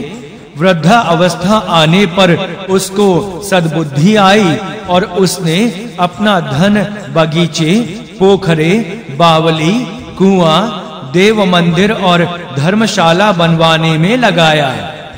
यात्रियों के लिए भोजन और जगह-जगह जल की भी व्यवस्था की। एक बार वह बीमार पड़ी और अपना सारा धन ब्राह्मणों को देना चाहा। पर ब्राह्मणों के ना लेने पर उसने एक भाग अपनी दासियों को और दूसरा परदेशी यात्रियों को दे दिया और स्वयं निर्धन हो गई। इस समय जरद्रवा नामक मोहिनी की एक सखी उसकी सेवा करती थी। भाग्यवश कुछ दिनों में वह अच्छी हो गई। पर निर्धनता की अवस्था में जरदुगवा के घर रहने में उसे बड़ा संकोच हुआ और वह घर से निकल गई। एक दिन मोहिनी वन के मार्ग से जा रही थी। चोरों ने उसके पास धन समझकर लोभ से उसे मार दिया। पर जब धन नहीं मिला, तब वे उसे वन में ही छोड़कर चल दिए। अभी मोहिनी की साँसें चल रही थी। उसी समय एक वानप्रस्थी महात्मा इस प्रयाग के जल को कमंडलू में लिए वहाँ आ पहुँचे और तीर्थ की महिमा कहते हुए उन्होंने मोहिनी के मुख में वह जल डाल दिया। उस समय मोहिनी के मन में किसी राजा की महारानी बनने की इच्छा थी। मुख में प्रयाग का जल पड़ते ही मोहिनी मर गई और दूसरे जन्म में वह द्रविण देश में राजा वीरवर्मा की हिमांगी नामक महारानी हुई। राजमंत्री की लड़की कला उसकी सखी थी। एक दिन हिमांगी कला के घर गई और कला ने एक सोने की पेटी में उसे एक विचित्र पुस्तक दिखाई, जिसमें अवतारों के चित्रों के साथ-साथ सारे भूगोल का मानचित्र था। मानचित्र देखते देखते हेमांगी की दृष्टि इस प्रयाग तीर्थ पर पड़ी और उसे तुरंत अपने पूर्व जन्म का स्मरण हो आया। तदंतर उसने घर लौटकर अपने पति से पूर्व जन्म की सारी घटनाएँ सुनाकर प्रार्थना की कि, नाथ, मैं उस तीर्थ जल के प्रसाद से ही आपके घर की रानी बनी हूँ। इस समय आपके साथ चलकर तीर्थराज प्रयाग का दर्शन करना चाहती हूँ। जब मैं उस तीर्थराज के लिए चल पड़ूँगी, तभी अन्न जल ग्रहण करूँगी। राजा के पूरा विश्वास ना करने पर उसी समय आकाशवाणी ने कहा, राजन, तुम्हारी पत्नी का कथन सत्य है। परम पवित्र प्रयाग तीर्थ में जाकर तुम स्नान करो। इससे तुम्हारी सारी इच्छाएँ पूर्ण होंगी। तब तो राजा आकाशवाणी को नमस्कार करके मंत्री को सारा भार सौंप हिमांगी के साथ चल पड़े और कुछ दिनों में प्रयाग आ पहुँचे। इस प्रयाग स्नान के पुण्य से हम पर भगवान विष्णु प्रसन्न हो। इस इच्छा से तीर्थ में स्नान करते ही भगवान विष्णु और भगवान ब्रह्मा जी क्रमशः गरुड़ और हंस पर बैठे हुए वहाँ आ पहुँचे। राजा वीर वर्मा ने मस्तक झुकाकर भगवान के दोनों स्वरूपों को प्रणाम किया और एकाग्र चित्त से उनकी विलक्षण स्तुति की। फिर हिमांगी ने उनका स्तवन करके मनोरथ पूर्ण करने की प्रार्थना की। भगवान विष्णु और भगवान ब्रह्मा जी ने प्रसन्न होकर हिमांगी की बड़ी प्रशंसा की और फिर दोनों को अपने साथ ले सत्यलोक में चले गए। बोलिए प्रयाग तीर्थ की जय। जय जय श्री हरि जय जय श्री हरि जय जय शिव शंकर जय जय शिव शंकर अवंती का महत्मय आधुनिक लोग अवंतिका पुरी को उज्जैन कहते हैं। उज्जैन का दूसरा नाम महाकालपुरी भी है। महाकालपुरी का नाम प्रत्येक युग में परिवर्तित होता रहता है। इसके संबंध में कहा गया है कि इस समय इस स्थान को पृथ्वी का नाभि देश कहा गया है। द्वादश ज्योतिर्लिंगों में महाकाल लिंग यही है और 51 शक्ति पीठों में यहाँ एक शक्ति पीठ भी है। द्वापर में श्री कृष्ण बलराम यही महर्षि सांदीपनी के आश्रम में अध्ययन करने आए थे। महाराज विक्रमादित्य के समय उज्जैनी भारत की राजधानी थी। भारतीय ज्योतिष शास्त्र में देशांतर की शून्य रेखा उज्जैनी से प्रारंभ हुई मानी जाती है। यह सप्तपुरियों में एक पुरी है। यहाँ बारहवें वर्ष में कुंभ का मेला लगता है। नारद पुराण का कथन है कि अवंती तीर्थ का तथा देववंध भगवान का महत्मय अपार है। महाकाल वन परम पवित्र एवं परम उत्तम तपोभूमि है। महाकाल वन से बढ़कर दूसरा कोई क्षेत्र इस पृथ्वी पर नहीं है। यहाँ कपाल योग नामक तीर्थ है, जिसमें भक्ति पूर्वक स्नान करने से ब्रह्म हत्यारा मनुष्य भी शुद्ध हो जाता है। अवंती के प्रत्येक कल्प में भिन्न-भिन्न नाम होते हैं। यथा कनक श्रृंगा कुश स्थली अवंतिका पद्मावती, कुमुदवती, उज्जयनी, विशाला और अमरावती। जो मनुष्य शिप्रा नदी में स्नान करके भगवान महेश्वर की पूजा करता है, वह भगवान महादेव जी तथा महादेव जी की कृपा से संपूर्ण कामनाओं को पा लेता है। शिप्रा नदी सर्वत्र पुण्यदायिनी, अतिशय पवित्र तथा पापहारिणी है। परंतु अवंतीपुरी में उसका महत्व बहुत बढ़ जाता है। पूर्व काल में भगवान विष्णु के जय और विजय नाम वाले दो द्वारपाल थे। वे दोनों सदा वैकुंठ के द्वार पर खड़े रहते थे। एक समय भगवान ब्रह्मा जी के मानस पुत्र सनकादि स्वेच्छा से विष्णु जी के परम धाम में पधारे। द्वार पर आते ही द्वारपालों ने सहसा रोक दिया। द्वारपालों के इस बर्ताव से संकादिकों को बहुत बड़ा दुख हुआ। परिणामतः उन मुनि कुमारों ने जय विजय को असुर होने का शाप दे दिया। संकादी कुमारों के द्वारा शापित होकर वे दोनों जय और विजय तत्काल आसुरी योनि में चले गए। वे दोनों प्रथम जन्म में हिरणाया कश्यप और हिरणायक्ष, दूसरे जन्म में कुंभकर्ण तथा रावण और तीसरे जन्म में दंत वक्त्र एवं शिशुपाल कहलाए। हिरणायक्ष नामक दैत्य बड़ा बलवान था उसके अत्याचारों से चारों ओर हाहाकार मच गया। वह पृथ्वी को रसातल लेकर चला गया।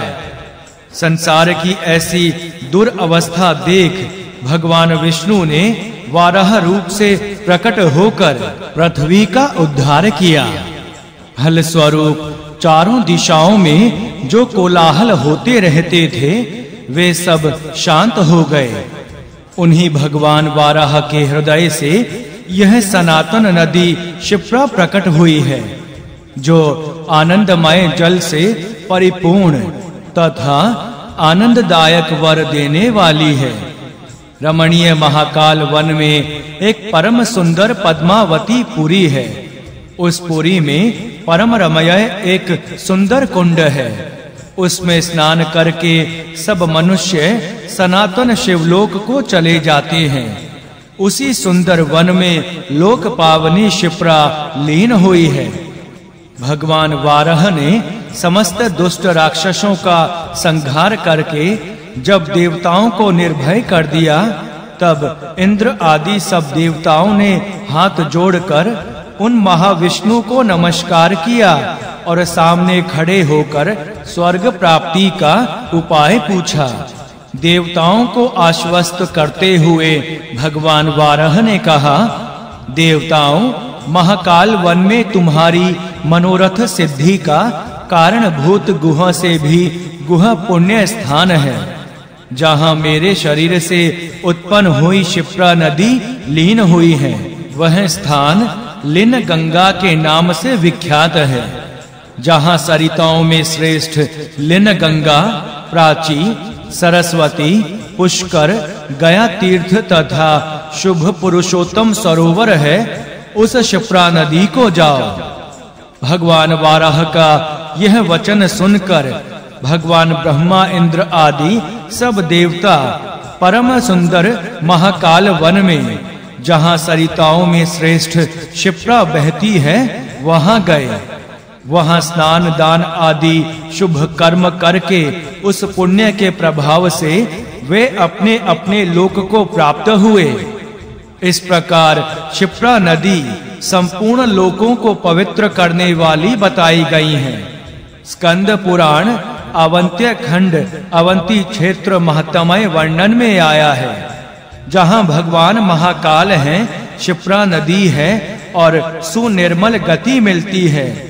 उस उज्जैनी में भला किसे रहना अच्छा ना लगेगा।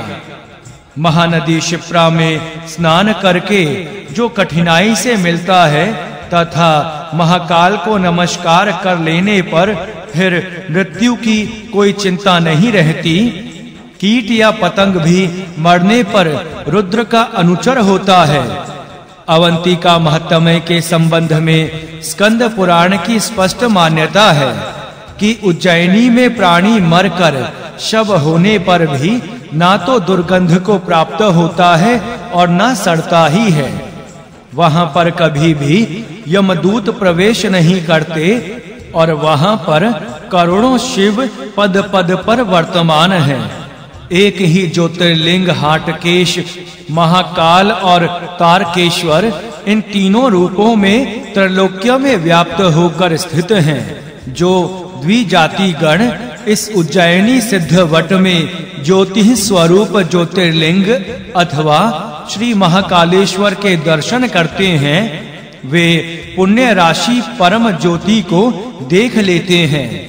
संसार के जिन दीन दुखियों ने कभी भी महाकालेश्वर के लिंग का दर्शन किया है, उन्हें ना तो महापाप छूते हैं और ना यम दूत गण ही सताते हैं।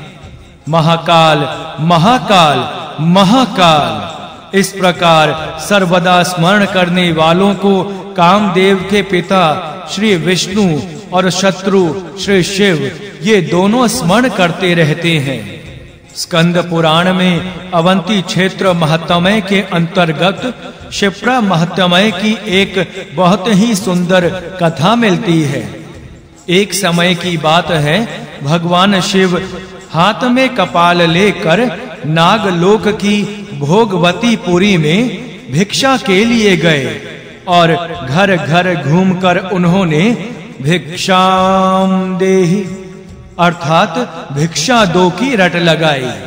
किंतु उन भूखे भगवान शिव को किसी ने भी भिक्षा नहीं दी। तब वे पुरी से बाहर निकले और उस स्थान पर गए। जहाँ नागलोक के संरक्षण में अमृत के 21 कुंड भरे हुए थे। वहाँ पहुंचकर सर्वांतर अंतर्यामी भगवान शंकर ने अपने तृतीय नेत्र के मार्ग से अमृत के समस्त कुंडों को पी लिया और फिर वहाँ से उठकर चल दिए। यह सब देख सुनकर समस्त नाग लोक काँप उठा और सब एक दूसरे से पूछने लगे, यह किसका कर्म है? किसने क्या कर दिया है?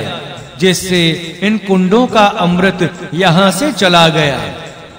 परस्पर ऐसा कहकर वासुकी आदि सभी नाग किसी महात्मा का अपराध हो जाने की आशंका से नगर छोड़कर बाहर निकले और क्या करें, कहाँ जाएँ?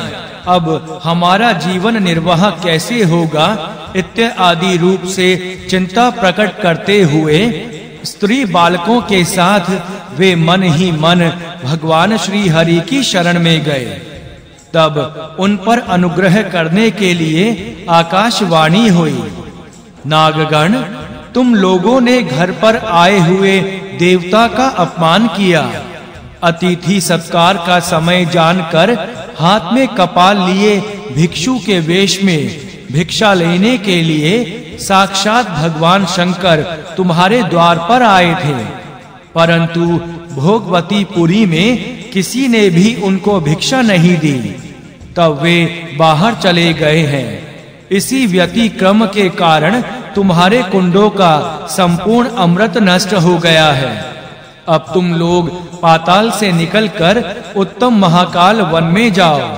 वहाँ तीनों लोकों को पवित्र करने वाली श्रेष्ठ नदी शिप्रा बहती है, जो समस्त कामनाओं और फलों को देने वाली है। वहाँ जाकर तुम सब लोग विधि पूर्वक स्नान और देवाधि देव भगवान शिव का भजन करो। ऐसा करने पर नागलोक में तुम्हारी नष्ट हुई अमृत राशि पुनः प्राप्त हो जाएगी। इस आकाशवाणी को सुनकर सब नाग स्त्री, बालक और वृद्धों के साथ महाकाल वन में गए। उन्होंने उस त्रिभुवन वंदिता शिप्रा नदी का दर्शन किया। इससे उन्हें बड़ी प्रसन्नता हुई और वहाँ स्नान दान आदि करके उन्होंने महादेव जी की आराधना की। कभी मलिन ना होने वाली कमल पुष्पों की माला, नाना प्रकार के फूल, अक्षत, वस्त्र, पुष्पहार, अनुलेपन, चंदन, गंध, धूप, दीप, नैवेद्य, तांबूल, दक्षिणा और कपूर की आरती आदि पूजन सामग्री लेकर वे सब के सब महादेव जी की सेवा में उपस्थित हुए। बोलिए, उज्जैन तीर्थ की जय। जय जय श्री हरि जय जय श्री हरि जय जय शिव शंकर जय जय शिव शंकर नासिक महत्मय। नासिक को गोदावरी, पंचवटी और गौतमी आदि नामों से भी जाना जाता है। जहाँ श्री लक्ष्मण जी ने रावण की बहन शूर्पणखा की नाक काटी थी और जहाँ सीता हरण हुआ था, वह स्थान नासिक पंचवटी के नाम से प्रसिद्ध है। नासिक पंचवटी से थोड़ी दूर भगवान त्र्यंबकेश्वर का स्थान है। यहाँ के निकटवर्ती ब्रह्मगिरी नामक पर्वत से पूत सलीला गोदावरी निकलती हैं, जो महत्वमय उत्तर भारत में पाप विमोचनी गंगा का है, वही दक्षिण में गोदावरी का है। दक्षिण में यह गंगा नाम से ही प्रख्यात है। जैसे इस पृथ्वी पर गंगा अवतरण का श्रेय तपस्वी भगीरथ को है वैसे ही गोदावरी का प्रवाह ऋषि श्रेष्ठ गौतम की घोर तपस्या का फल है, जो उन्हें भगवान आशुतोष से प्राप्त हुआ था। भगीरथ के प्रयत्न से भूतल पर अवतरित हुई माता गंगा जैसे भागीरथी कहलाती हैं, वैसे ही गौतम ऋषि की तपस्या के फल स्वरूप आई हुई गोदावरी का दूसरा नाम गौतमी है। इनकी भी महिमा बहुत अधिक है। बृहस्पति के सिंह राशि में आने पर यहाँ बड़ा भारी कुंभ का मेला लगता है। इस कुंभ के अवसर पर गोदावरी स्नान का बड़ा भारी महत्वमय है। इन्हीं पुण्य तोया गोदावरी के उद्गम स्थान के समीप स्थित त्रयंबकेश्वर भगवान की भी बड़ी भारी महिमा है। गौतम ऋषि तथा गोदावरी के प्रार्थना अनुसार भगवान शिव ने इस स्थान में निवास करने की कृपा की और त्रयंबकेश्वर नाम से विख्यात हुए। मंदिर के अंदर एक छोटे से गड्ढे में तीन छोटे-छोटे लिंग हैं, जो भगवान ब्रह्मा, भगवान विष्णु और भगवान शिव इन तीनों देवों के प्रतीक माने जाते हैं। भगवान शिव पुराण के अनुसार त्रयंबकेश्वर के दर्शन और पूजन करने वाले की इस लोक और परलोक में सदा आनंद रहता है। ब्रह्मगिरी पर्वत के ऊपर जाने के लिए चौड़ी-चौड़ी 700 सीढ़ियाँ बनी हुई हैं। इन सीढ़ियों पर चढ़ने के बाद राम कुंड और लक्ष्मण कुंड मिलते हैं और शिखर के ऊपर पहुँचने पर गौमुख से निकलती हुई भगवती गोदावरी के दर्शन होते हैं। नासिक महात्म्य के वर्णन प्रसंग में शिव पुराण रुद्र संहिता अध्याय 24 में कहा गया है। इसका आशय यह है कि सिंह की बृहस्पति में संपूर्ण देवता तथा तीर्थ पुष्कर आदि सरोवर, गंगा आदि नदियाँ वासुदेव आदि अनेक देवता गौतमी में निवास करते हैं। गोदावरी में सिंहस्थ पर्व के समय देव, दानव, यक्ष और मनुष्य आदि जो कोई गौतमी गंगा का स्नान तथा पान करेगा, वह समस्त संकटों से मुक्त होकर सर्व विजय होगा। सिंहस्थ गुरु के समय गोदावरी में विधि पूर्वक स्नान पूजा पाठ तथा दान करने से मोक्ष पद की प्राप्ति होती है। जो मनुष्य गोदावरी में कुंभ पर्व के समय इंद्र तीर्थ में स्नान कर त्रयंबकेश्वर के दर्शन करता है, वह समस्त पापों से छुटकारा प्राप्त कर इंद्रलोक में जाता है और कुंभ पर्व पर इंद्र तीर्थ में स्नान दान आदि कर पितरों का श्राद्ध तर्पण करता है। वह पितृ शरण से मुक्त होकर अक्षय सुख की प्राप्ति करता है। रुद्र संहिता अध्याय 27 में वर्णन आया है कि जो कोई कुंभ पर्व के अवसर पर सिंहस्थ में, गोदावरी में विधि पूर्वक स्नान तथा त्रयंबक का दर्शन करता है, उसे समस्त तीर्थों के स्नान तथा समस्त देवताओं की आराधना एवं दर्शन का पुण्य फल प्राप्त होता है। साथ ही उस मनुष्य के समस्त पापों की निवृत्ति भी हो जाती है। वैसे तो तीनों लोकों में व्याप्त रहने वाली गोदावरी के स्नान, दर्शन एवं निवास का सर्वदा विशेष महत्व रहता है। किंतु सिंहस्थ कुंभ काल में उसका विशेष महत्व बढ़ जाता है। इसका कारण है कि गोदावरी सिंहस्थ कुंभ काल में अपने समस्त अंगों को स्वर्ग और पाताल से खींचकर त्रयंबक क्षेत्र गोदावरी नासिक में निवास करती है। गोदावरी स्थित गौतमी गंगा के किनारे से चारों ओर 10-10 योजन के अंतर में जो मनुष्य जन्म ग्रहण करता है, उसका पितरों सहित उद्धार हो जाता है। शिव पुराण में तो गौतमी अर्थात गोदावरी के प्राकट्य तथा महात्मय का बड़ा ही सुंदर आख्यान मिलता है, जिसकी संक्षिप्त कथा इस प्रकार है। पूर्व काल की बात है, गौतम नाम से विख्यात एक श्रेष्ठ ऋषि रहते थे, जिनकी परम धार्मिक पत्नी का नाम अहिल्या था। दक्षिण दिशा में जो ब्रह्मगिरी है, वहीं उन्होंने दस हज़ार वर्षों तक तपस्या की थी।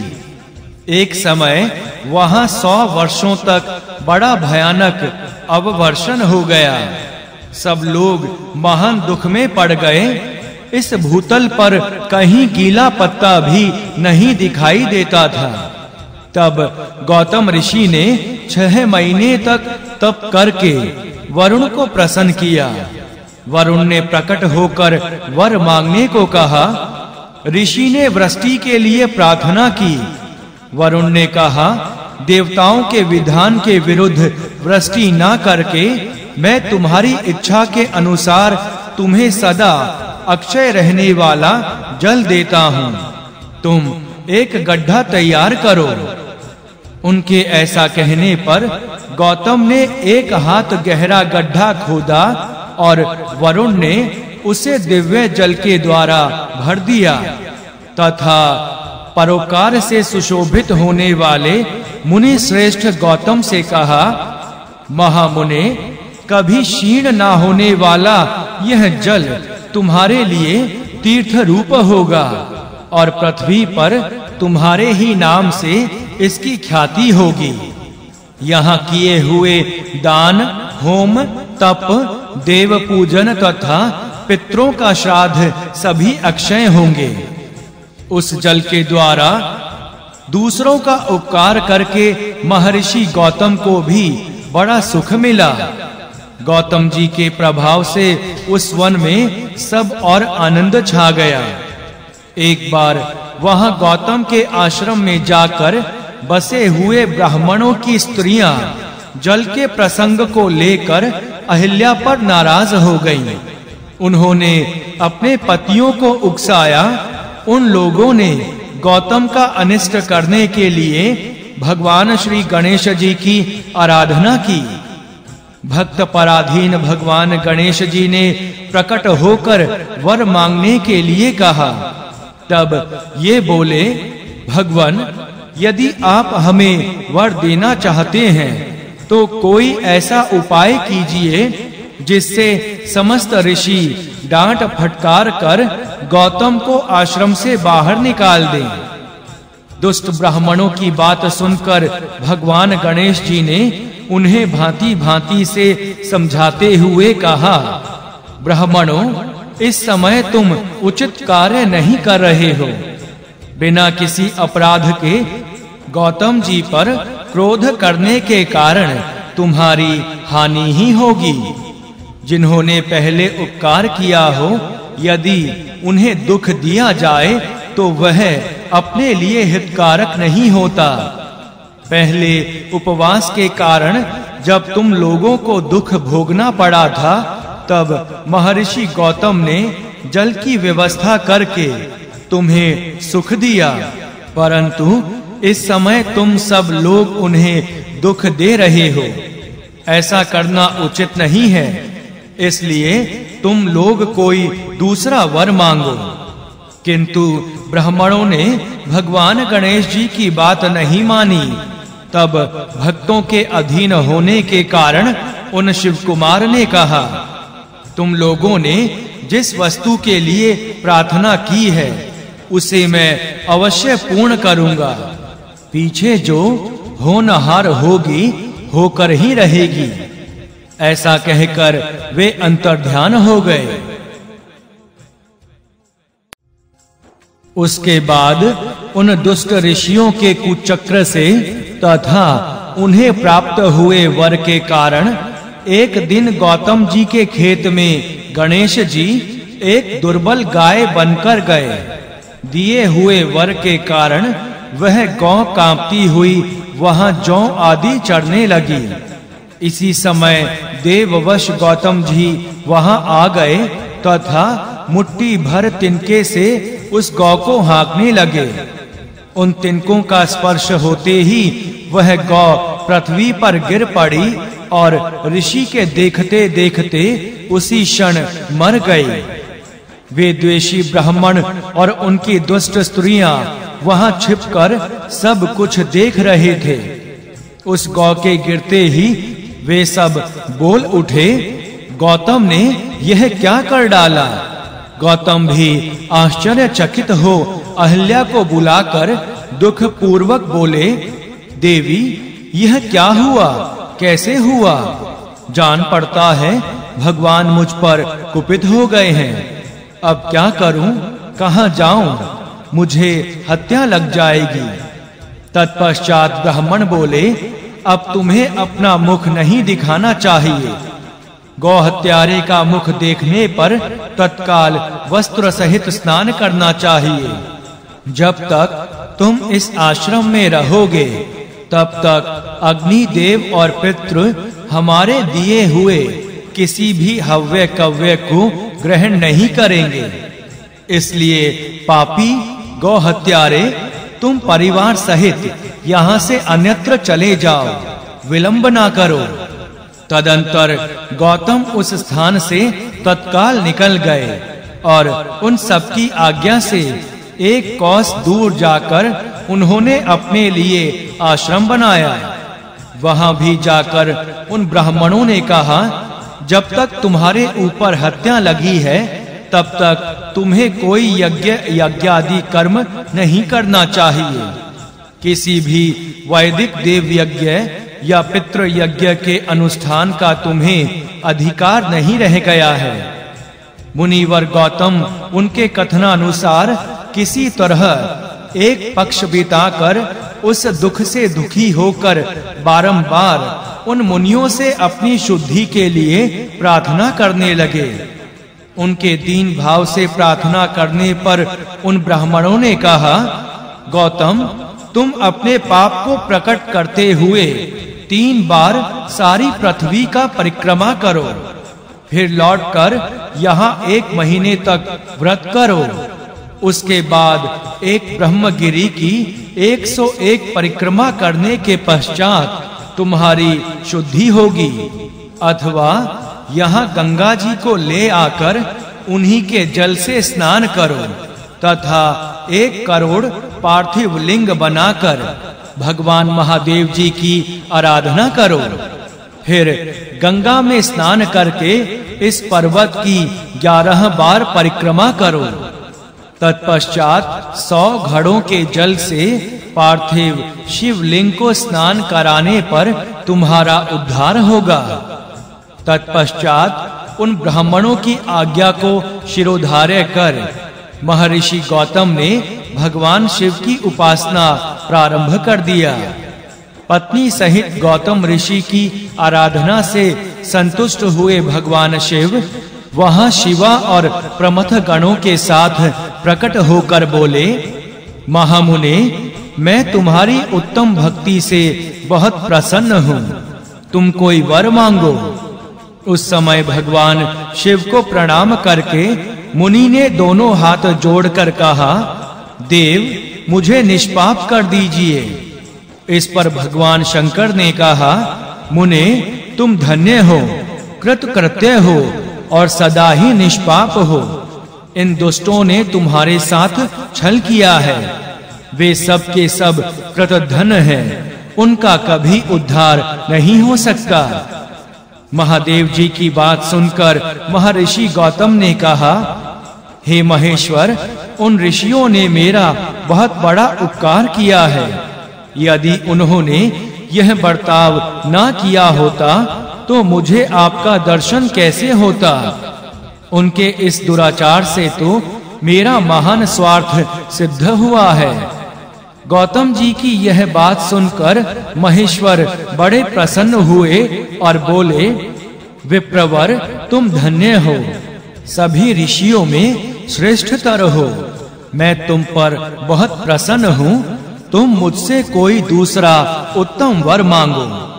इस पर गौतम जी ने कहा हे देवेश, यदि आप प्रसन्न हैं तो मुझे गंगा प्रदान कीजिए, जिससे लोक का महान उपकार हो सके। ऐसा वर मांगकर गौतम ऋषि ने शिव के दोनों चरणार विंद पकड़ लिए। तब शिव ने गंगा से कहा, हे देवी, तुम मुनि को पवित्र करो और तुरंत वापस ना जाकर वैवस्त मनु के अठारवें कलयुग तक यहीं रहो। तब गंगा जी ने कहा, महेश्वर, यदि मेरा महत्मय सब नदियों से अधिक हो। अंबिका तथा गणों के साथ आप भी यहाँ रहे, तभी मैं इस धरातल पर रहूँगी। गंगा जी की बात सुनकर भगवान शिव बोले, गंगे, तुम धन्य हो। मेरी बात सुनो। मैं तुमसे अलग नहीं हूँ। तथापि मैं तुम्हारे कथना अनुसार यहाँ स्थित रहूँगा। भगवान शिव की बात सुनकर गंगा जी मन ही मन प्रसन्न होकर उनकी भूरी भूरी प्रशंसा करने लगी। इसी समय देवता, प्राचीन ऋषि, अनेक उत्तम तीर्थ और नाना प्रकार के क्षेत्र वहाँ आ पहुँचे। उन सबने बड़े आदर से जय जयकार करते हुए गौतम, गंगा तथा शिव का पूजन किया। तदंतर देवताओं ने मस्तक झुकाकर तथा हाथ जोड़कर उनकी प्रसन्नता पूर्वक स्तुति की। उस समय प्रसन्न हुई गंगा और गिरीश ने देवताओं को वर मांगने के लिए कहा। तब देवता बोले, देवेश्वर यदि आप संतुष्ट हैं और सरिताओं में श्रेष्ठ गंगे, यदि आप भी प्रसन्न हैं तो हमारा तथा मनुष्यों का प्रिय करने के लिए आप लोग कृपा पूर्वक यहाँ निवास करें। इस पर माँ गंगा जी ने कहा, देवताओं, फिर तो सबका प्रिय करने के लिए आप लोग स्वयं ही यहाँ क्यों नहीं रहते? मैं तो गौतम जी के पाप का प्रक्षालन करके जैसे आई हूँ, उसी प्रकार लौट जाऊँगी। आपके समाज में यहाँ मेरी कोई विशेषता समझी जाती है। इस बात का पता कैसे लगे? यदि आप यहाँ मेरी विशेषता सिद्ध कर सकें तो मैं अवश्य यहाँ रहूँगी। इसमें संशय नहीं है। माँ गंगा जी की बात सुनकर सब देवताओं ने कहा, सरिताओं में श्रेष्ठ गंगे, सबके परम सुहद बृहस्पति जी, जब जब सिंह राशि पर स्थित होंगे, तब तब हम सब लोग यहाँ आया करेंगे। इसमें संशय नहीं है। ग्यारह वर्षों तक लोगों का जो पातक यहाँ प्रक्षालित होगा, उससे मलिन हो जाने पर हम उसी पाप राशि को धोने के लिए आदर पूर्वक तुम्हारे पास आवेंगे। हमने यह सर्वथा सच्ची बात कही है। सरिद्वरे, महादेवी, अतः तुमको और भगवान शंकर को समस्त लोकों पर अनुग्रह तथा हमारा प्रिय करने के लिए यहाँ नित्य निवास करना चाहिए। गुरु अर्थात बृहस्पति, जब तक सिंह राशि पर रहेंगे, तभी तक हम यहाँ निवास करेंगे। उस समय तुम्हारे जल में त्रिकाल स्नान और भगवान शंकर का दर्शन करके हम शुद्ध होंगे। फिर तुम्हारी आज्ञा लेकर अपने अपने स्थान को लौट जावेंगे। इस प्रकार उन देवताओं तथा महर्षि गौतम के प्रार्थना करने पर भगवान शंकर और सरिताओं में श्रेष्ठ माँ गंगा दोनों वहाँ स्थित हो गए। वहाँ की गंगा गौतमी अर्थात गोदावरी नाम से विख्यात हुई और भगवान शिव का ज्योतिर्मय लिंग त्रयंबक कहलाया। यह ज्योतिर्लिंग महान पातकों का नाश करने वाला है। उसी दिन से लेकर जब जब बृहस्पति सिंह राशि में स्थित होते हैं, तब तब सब तीर्थ, क्षेत्र, देवता, पुष्कर आदि सरोवर, गंगा आदि नदियाँ तथा श्री विष्णु आदि देवगण अवश्य ही गौतमी के तट पर पधारते और वास करते हैं। वे जब तक गौतमी के किनारे रहते हैं तब तक अपने स्थान पर उनका कोई फल नहीं होता। जब वे अपने लोक में लौट जाते हैं, तभी वहाँ इनके सेवन का फल प्राप्त होता है। यह त्रयंबक नाम से प्रसिद्ध ज्योतिर्लिंग गौतमी के तट पर स्थित हैं और बड़े-बड़े पातकों का नाश करने वाले हैं। जो भक्ति भाव से इस त्रयंबक लिंग का दर्शन पूजन, स्तवन एवं वंदन करता है, वह समस्त पापों से मुक्त हो जाता है। बोलिए, नासिक तीर्थ की जय। जय जय श्री हरि जय जय श्री हरि जय जय शिव शंकर जय जय शिव शंकर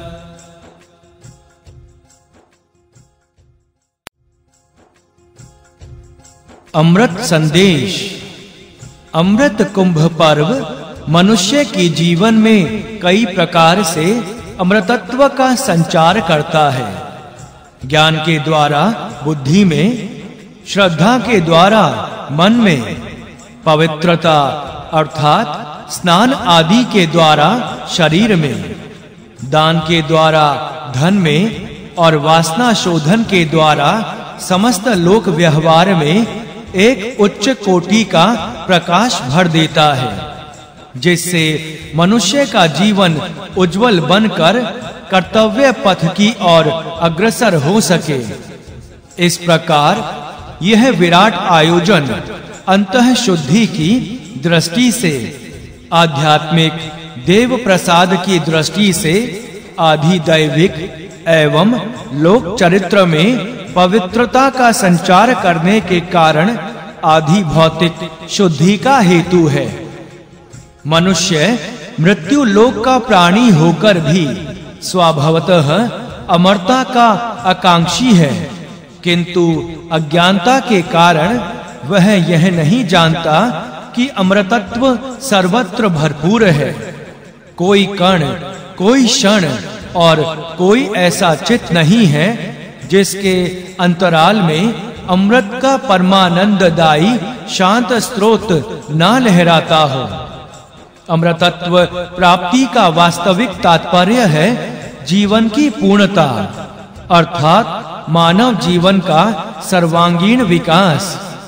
यह प्रत्येक देश में, प्रत्येक काल में, प्रत्येक मनुष्य के लिए अपेक्षित है।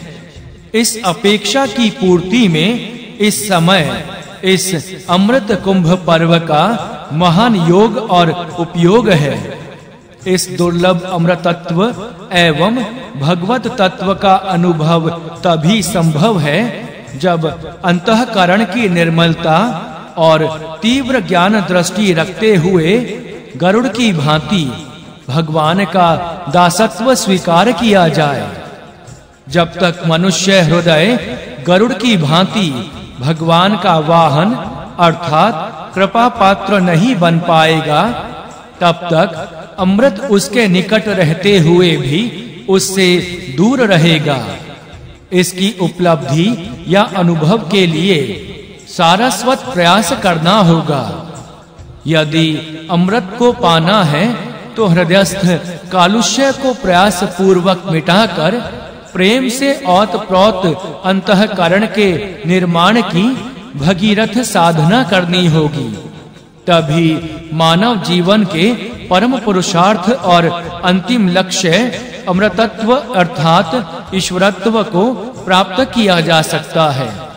अंतः परिशुद्धि या चित्त निर्माण के इस चिरंतन सत्य और अमृतोपम संदेश को जन जन तक पहुँचाने के उद्देश्य से ही हमारे महान दार्शनिक तपहपूत ऋषियों ने लोक कल्याण तथा लोक मंगल की पावन भावना से प्रेरित होकर प्रति बारहवें वर्ष शास्त्रानुमोदित हरिद्वार, प्रयाग उज्जैन और नासिक, इन चार पवित्र तीर्थ स्थानों में महाकुंभ पर्व के आयोजन का विधान किया।